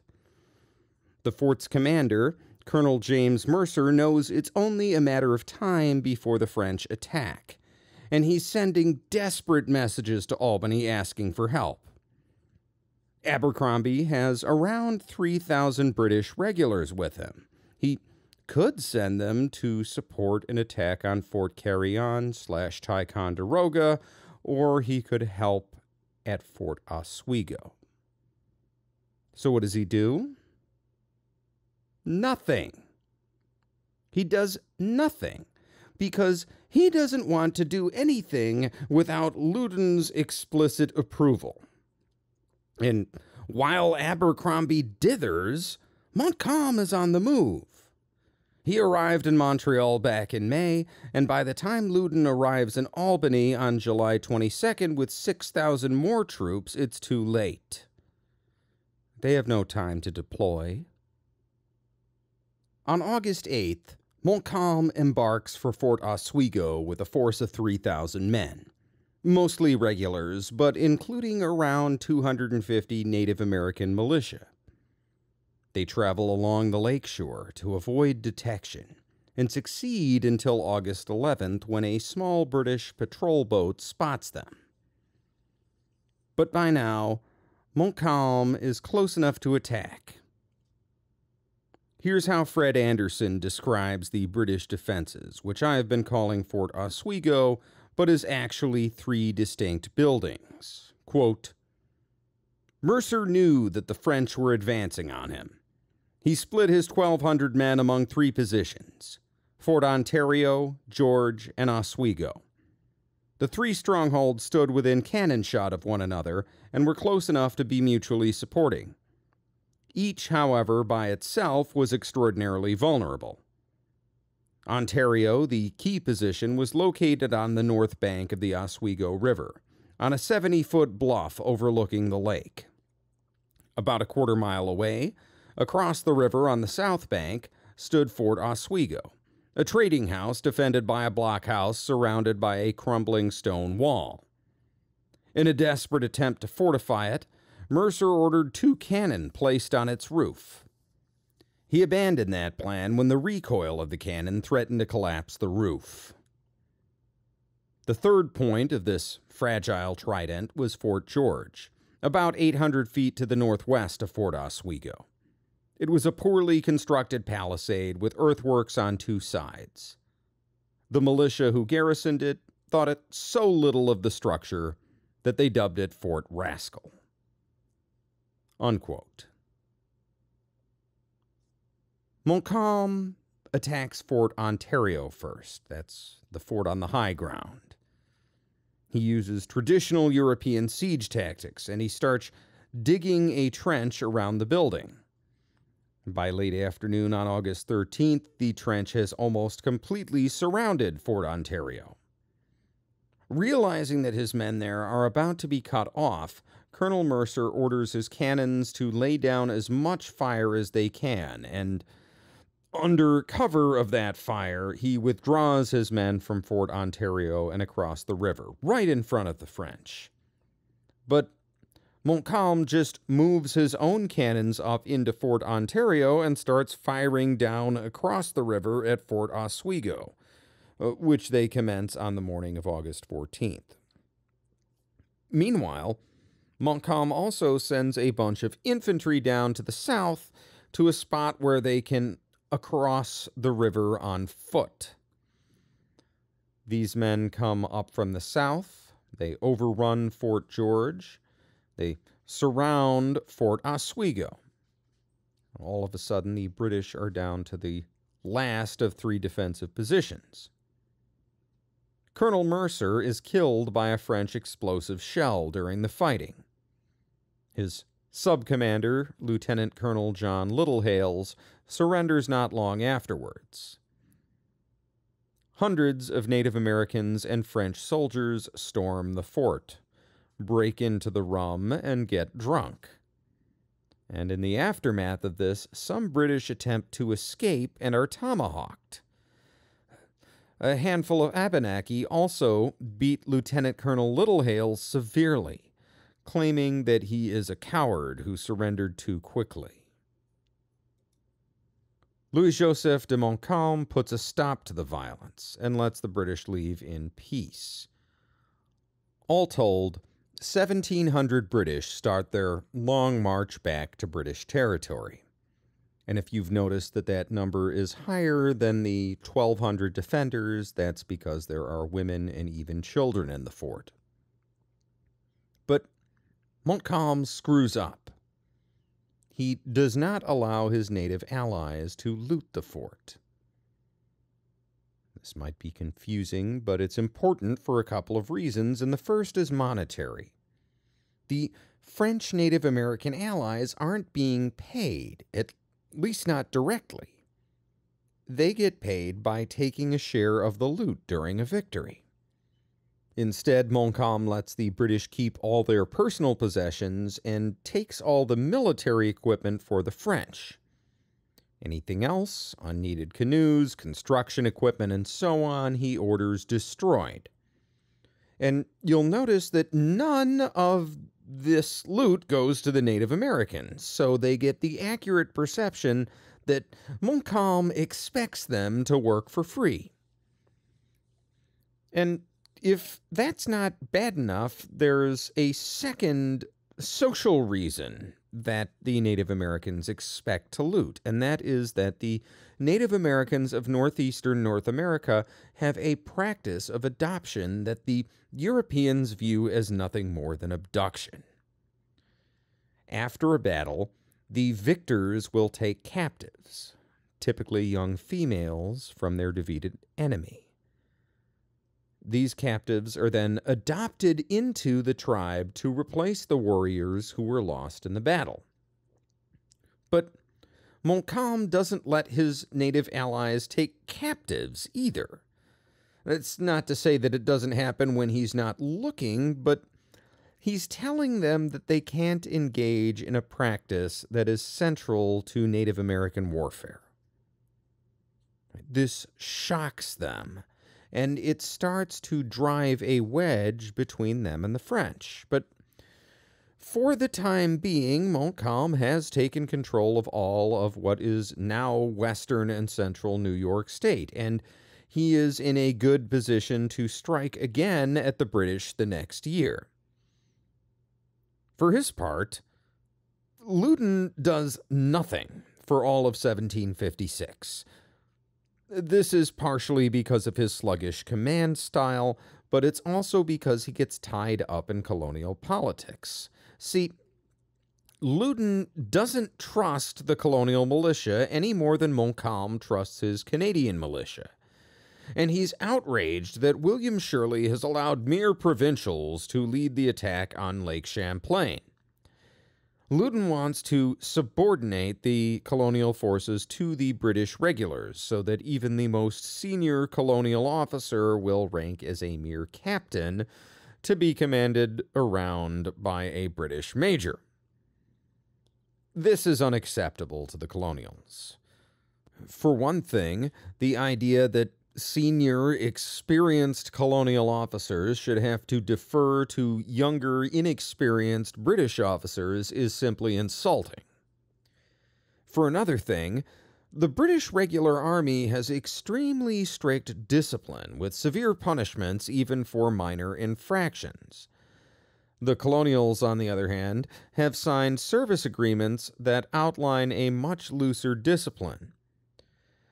If these men are subjected to floggings for minor breaches of discipline, there is going to be a riot. And you really don't want your own troops to be rioting. A group of colonial officers comes south from Lake George to explain this to Loudoun, and he comes up with a compromise that allows everybody to save face. The colonial forces are to be commanded only by their own officers, in turn swear to follow any royal commands. This gets rid of the discipline issue and the rank issue while still subordinating the colonial forces to Loudoun's command. And at the same time, uh, it allows the Lake George expedition to proceed but the delay means another year of waiting. This isn't to say that Loudoun offers the expedition no support, but he is a logistical expert, so his help is logistical.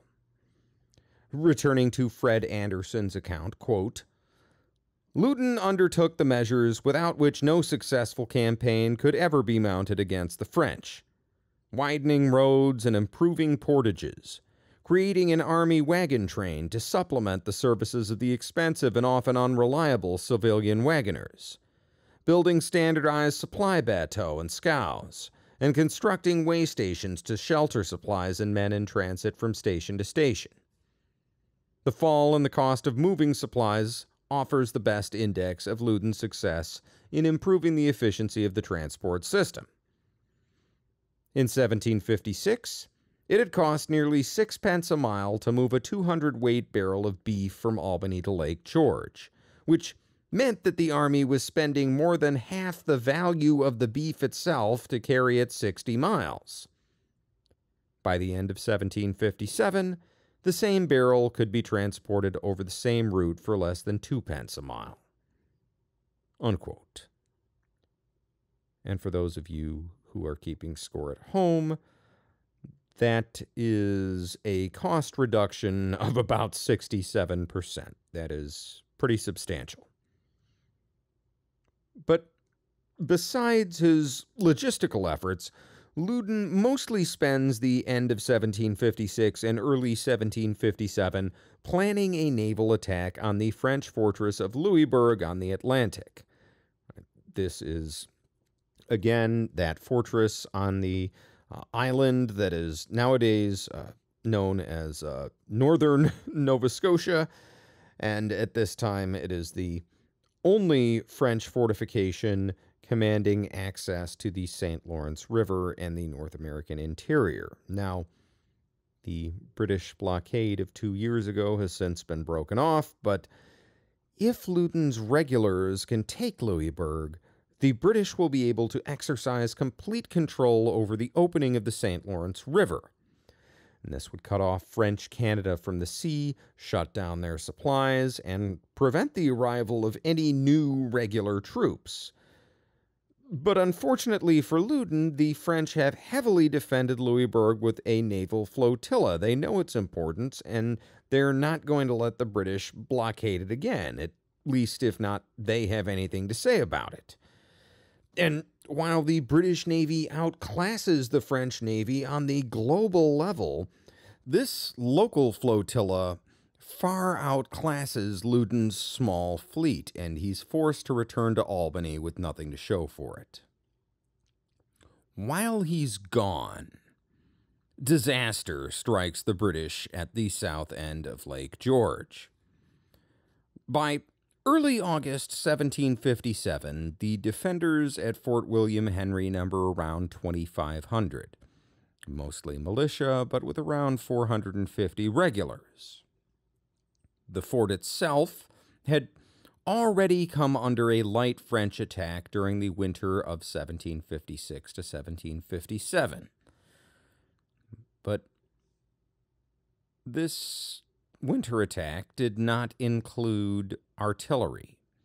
And Fort William Henry is a wooden structure that can stand up to small arms, but not artillery. And in the summer of 1757, Louis Joseph de Montcalm moves in on Fort William Henry with approximately 8,000 troops, plus artillery, and 1,800 or so Native American allies.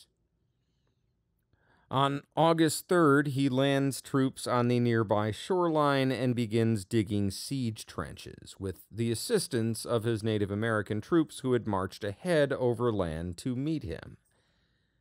Meanwhile, a detachment of Canadian militia, who had also come south overland, moved south to block the road from Fort Edward. This blocks the defenders of Fort William Henry from any kind of resupply up the Hudson River and across the portage. And at this point, as is traditional, Montcalm sends the British commander, Lieutenant Colonel George Monro, an offer to accept his surrender. Monro sends back a message refusing to surrender. He also sends out a courier to run south to Fort Edward and report the situation to his commanding officer, General Webb. Now, Webb only has 1,600 men at his disposal, uh, roughly half the number of people who are already at Fort William Henry. And he does not want to risk them in a relief effort, so he sends back a messenger ordering Monro to surrender on the best terms possible. Unfortunately, this courier with the message is shot by a French scout who takes the message to Montcalm, and it does not get to the British commander, Lieutenant Colonel Monro. For the next few days, the French trenches and cannons slowly advance closer to Fort William Henry's wooden walls, and by August 7th, most of the defending cannons have been destroyed, and Montcalm sends an envoy to Monro to negotiate a surrender. The envoy brings with him the orders from General Webb telling Monro to do just that. And so they negotiate terms, but Monro still refuses to actually order the surrender until the French have breached the walls. This is a matter of honor in European warfare, and they have brought the idea with them to the New World. On August 9th, the French cannons are within 250 yards of the fort's wooden wall, and they blow a hole in it and almost immediately the British run up the white flag. And now we will see the consequences of Montcalm's failure to communicate with his Native American allies. William F. Fowler Jr. writes, quote, At noon on the 9th, William Henry was turned over to the French. The soldiers in the fort laid down their arms and marched out to a fortified encampment. A number of wounded who were unable to walk were left behind. Within minutes, several Indians forced their way past French sentries and into the fort. As the departing troops reached the encampment, they heard screams from behind. Father Roubaud reported that he saw a warrior dash from the building where the wounded had been gathered, carrying a human head, from which trickled streams of blood. Other warriors burst through the gate and went for the military stores and provisions, including rum. A few French guards tried to restrain them, a move the Indians correctly viewed as a ploy so that the soldiers could take the spoils for themselves. While the Indians and French pillaged the fort, Monro and his men remained in the camp. Montcalm posted sentries to keep the British in and the Indians out.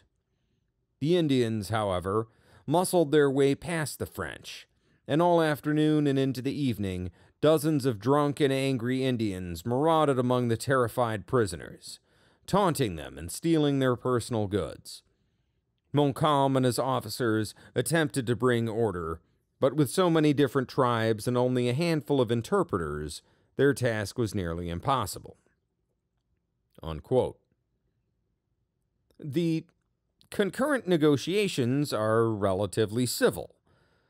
The British and French officers sit down to a nice dinner together, chat about life in North America, and come to an amiable surrender agreement. The British will be free to keep all their belongings, including their muskets and a single symbolic cannon, and they can retreat with full military honors. They will swear not to go to war against the French for the next 18 months, which is not an uncommon surrender condition in these days, and in turn, the British agree to turn over some French prisoners. But while all the officers are eating together, the Native American leaders are conspicuously left out.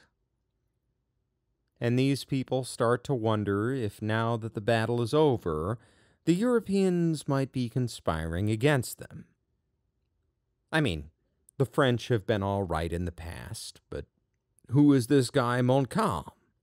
Why is he sitting down for dinner with our enemies after a battle and leaving us out? The disorder in the camp gets worse. Montcalm fears he can't protect the British, so rather than let the British leave in the morning as previously planned, he has his men wake them in the wee hours and tell them to start moving. But it takes until daybreak to get everybody ready. Fred Anderson writes, quote, Dawn brought all the mischief the Anglo Americans had feared. As the regulars prepared to lead the column down the road to Fort Edward, hundreds of warriors armed with knives, tomahawks, and other weapons swarmed around them, demanding that they surrender arms, equipment, and clothing. Other Indians entered the entrenched camp, where the provincial troops and camp followers anxiously awaited the order to march, and began carrying off not only property, but all the blacks, women, and children they could find among the camp followers. When at last the column began to move out at around 5 a.m., the regulars in the lead marched alongside the column's French escort, and thus were spared the worst of the violence that followed. The provincials at the rear of the column, however, lacked all protection and found themselves beset on every side. Within minutes, Indians had seized, killed, and scalped the wounded from the provincial companies, and stripped others of clothes, money, and possessions. As noise and confusion mounted, discipline disintegrated. Terrified men and women huddled together, trying as best they could to defend themselves. Then, with a whoop that witnesses took to be a signal, dozens of warriors began to tomahawk the most exposed groups at the rear of the column. The killing lasted only a few minutes, but more lives would be lost in the panic that followed. Frye's regiment dissolved in chaos as men bolted, screaming in every direction, some into the woods, others toward the French camp, others back to the fort, with Indians in hot pursuit. Since prisoners were more valuable than trophies, most of those whom the Indians caught were in less immediate danger than they thought. When Montcalm and the other French senior officers ran up to stem the disorder, however, they first tried to intervene and free the captives, only to find that the result was often fatal. Many warriors preferred to kill their captives and take trophies rather than be deprived of them altogether. By the time order could be restored, as many as 185 soldiers and camp followers had been killed, and a much larger number, between 300 and 500, had been taken captive. Another 300 to 500 provincials and regulars had found refuge with the French. The rest either fled down the road or escaped into the woods and eventually made their way toward Fort Edward. As for the Indians, virtually all of them left without delay once they had secured the prisoners, scalps, and plunder they had earned in battle.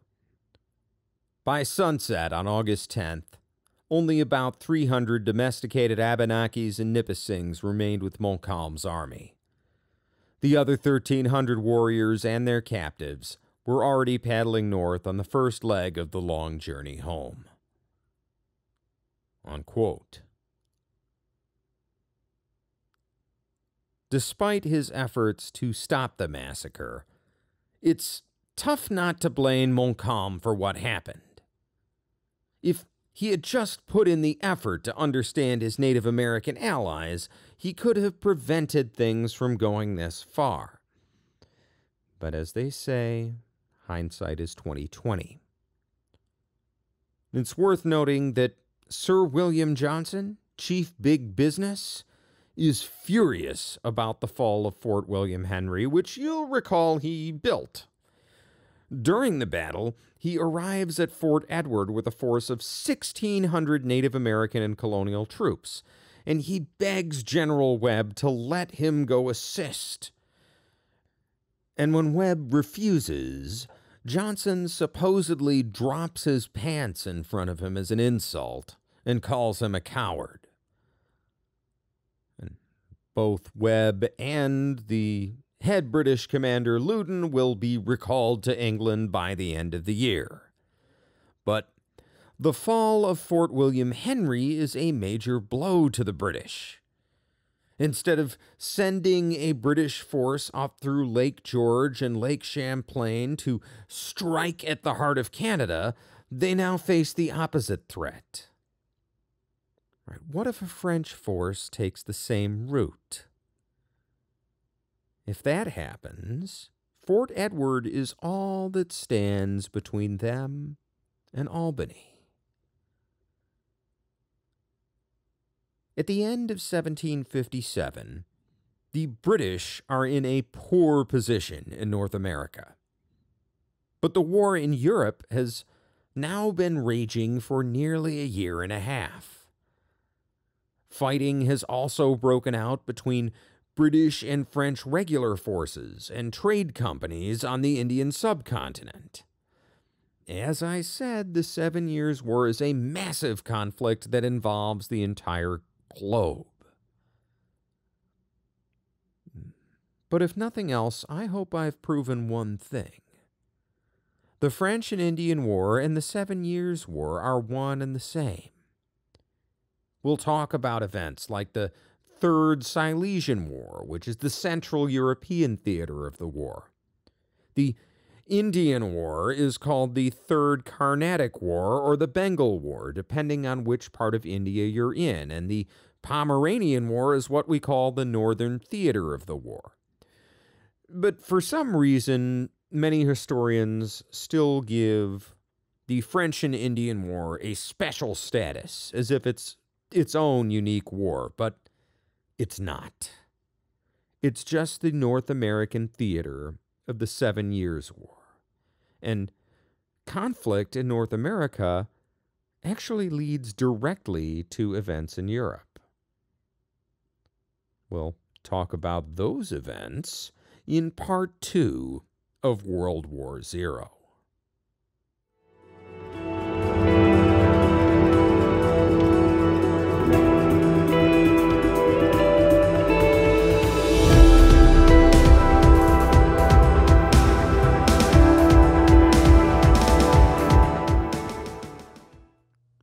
Hello again.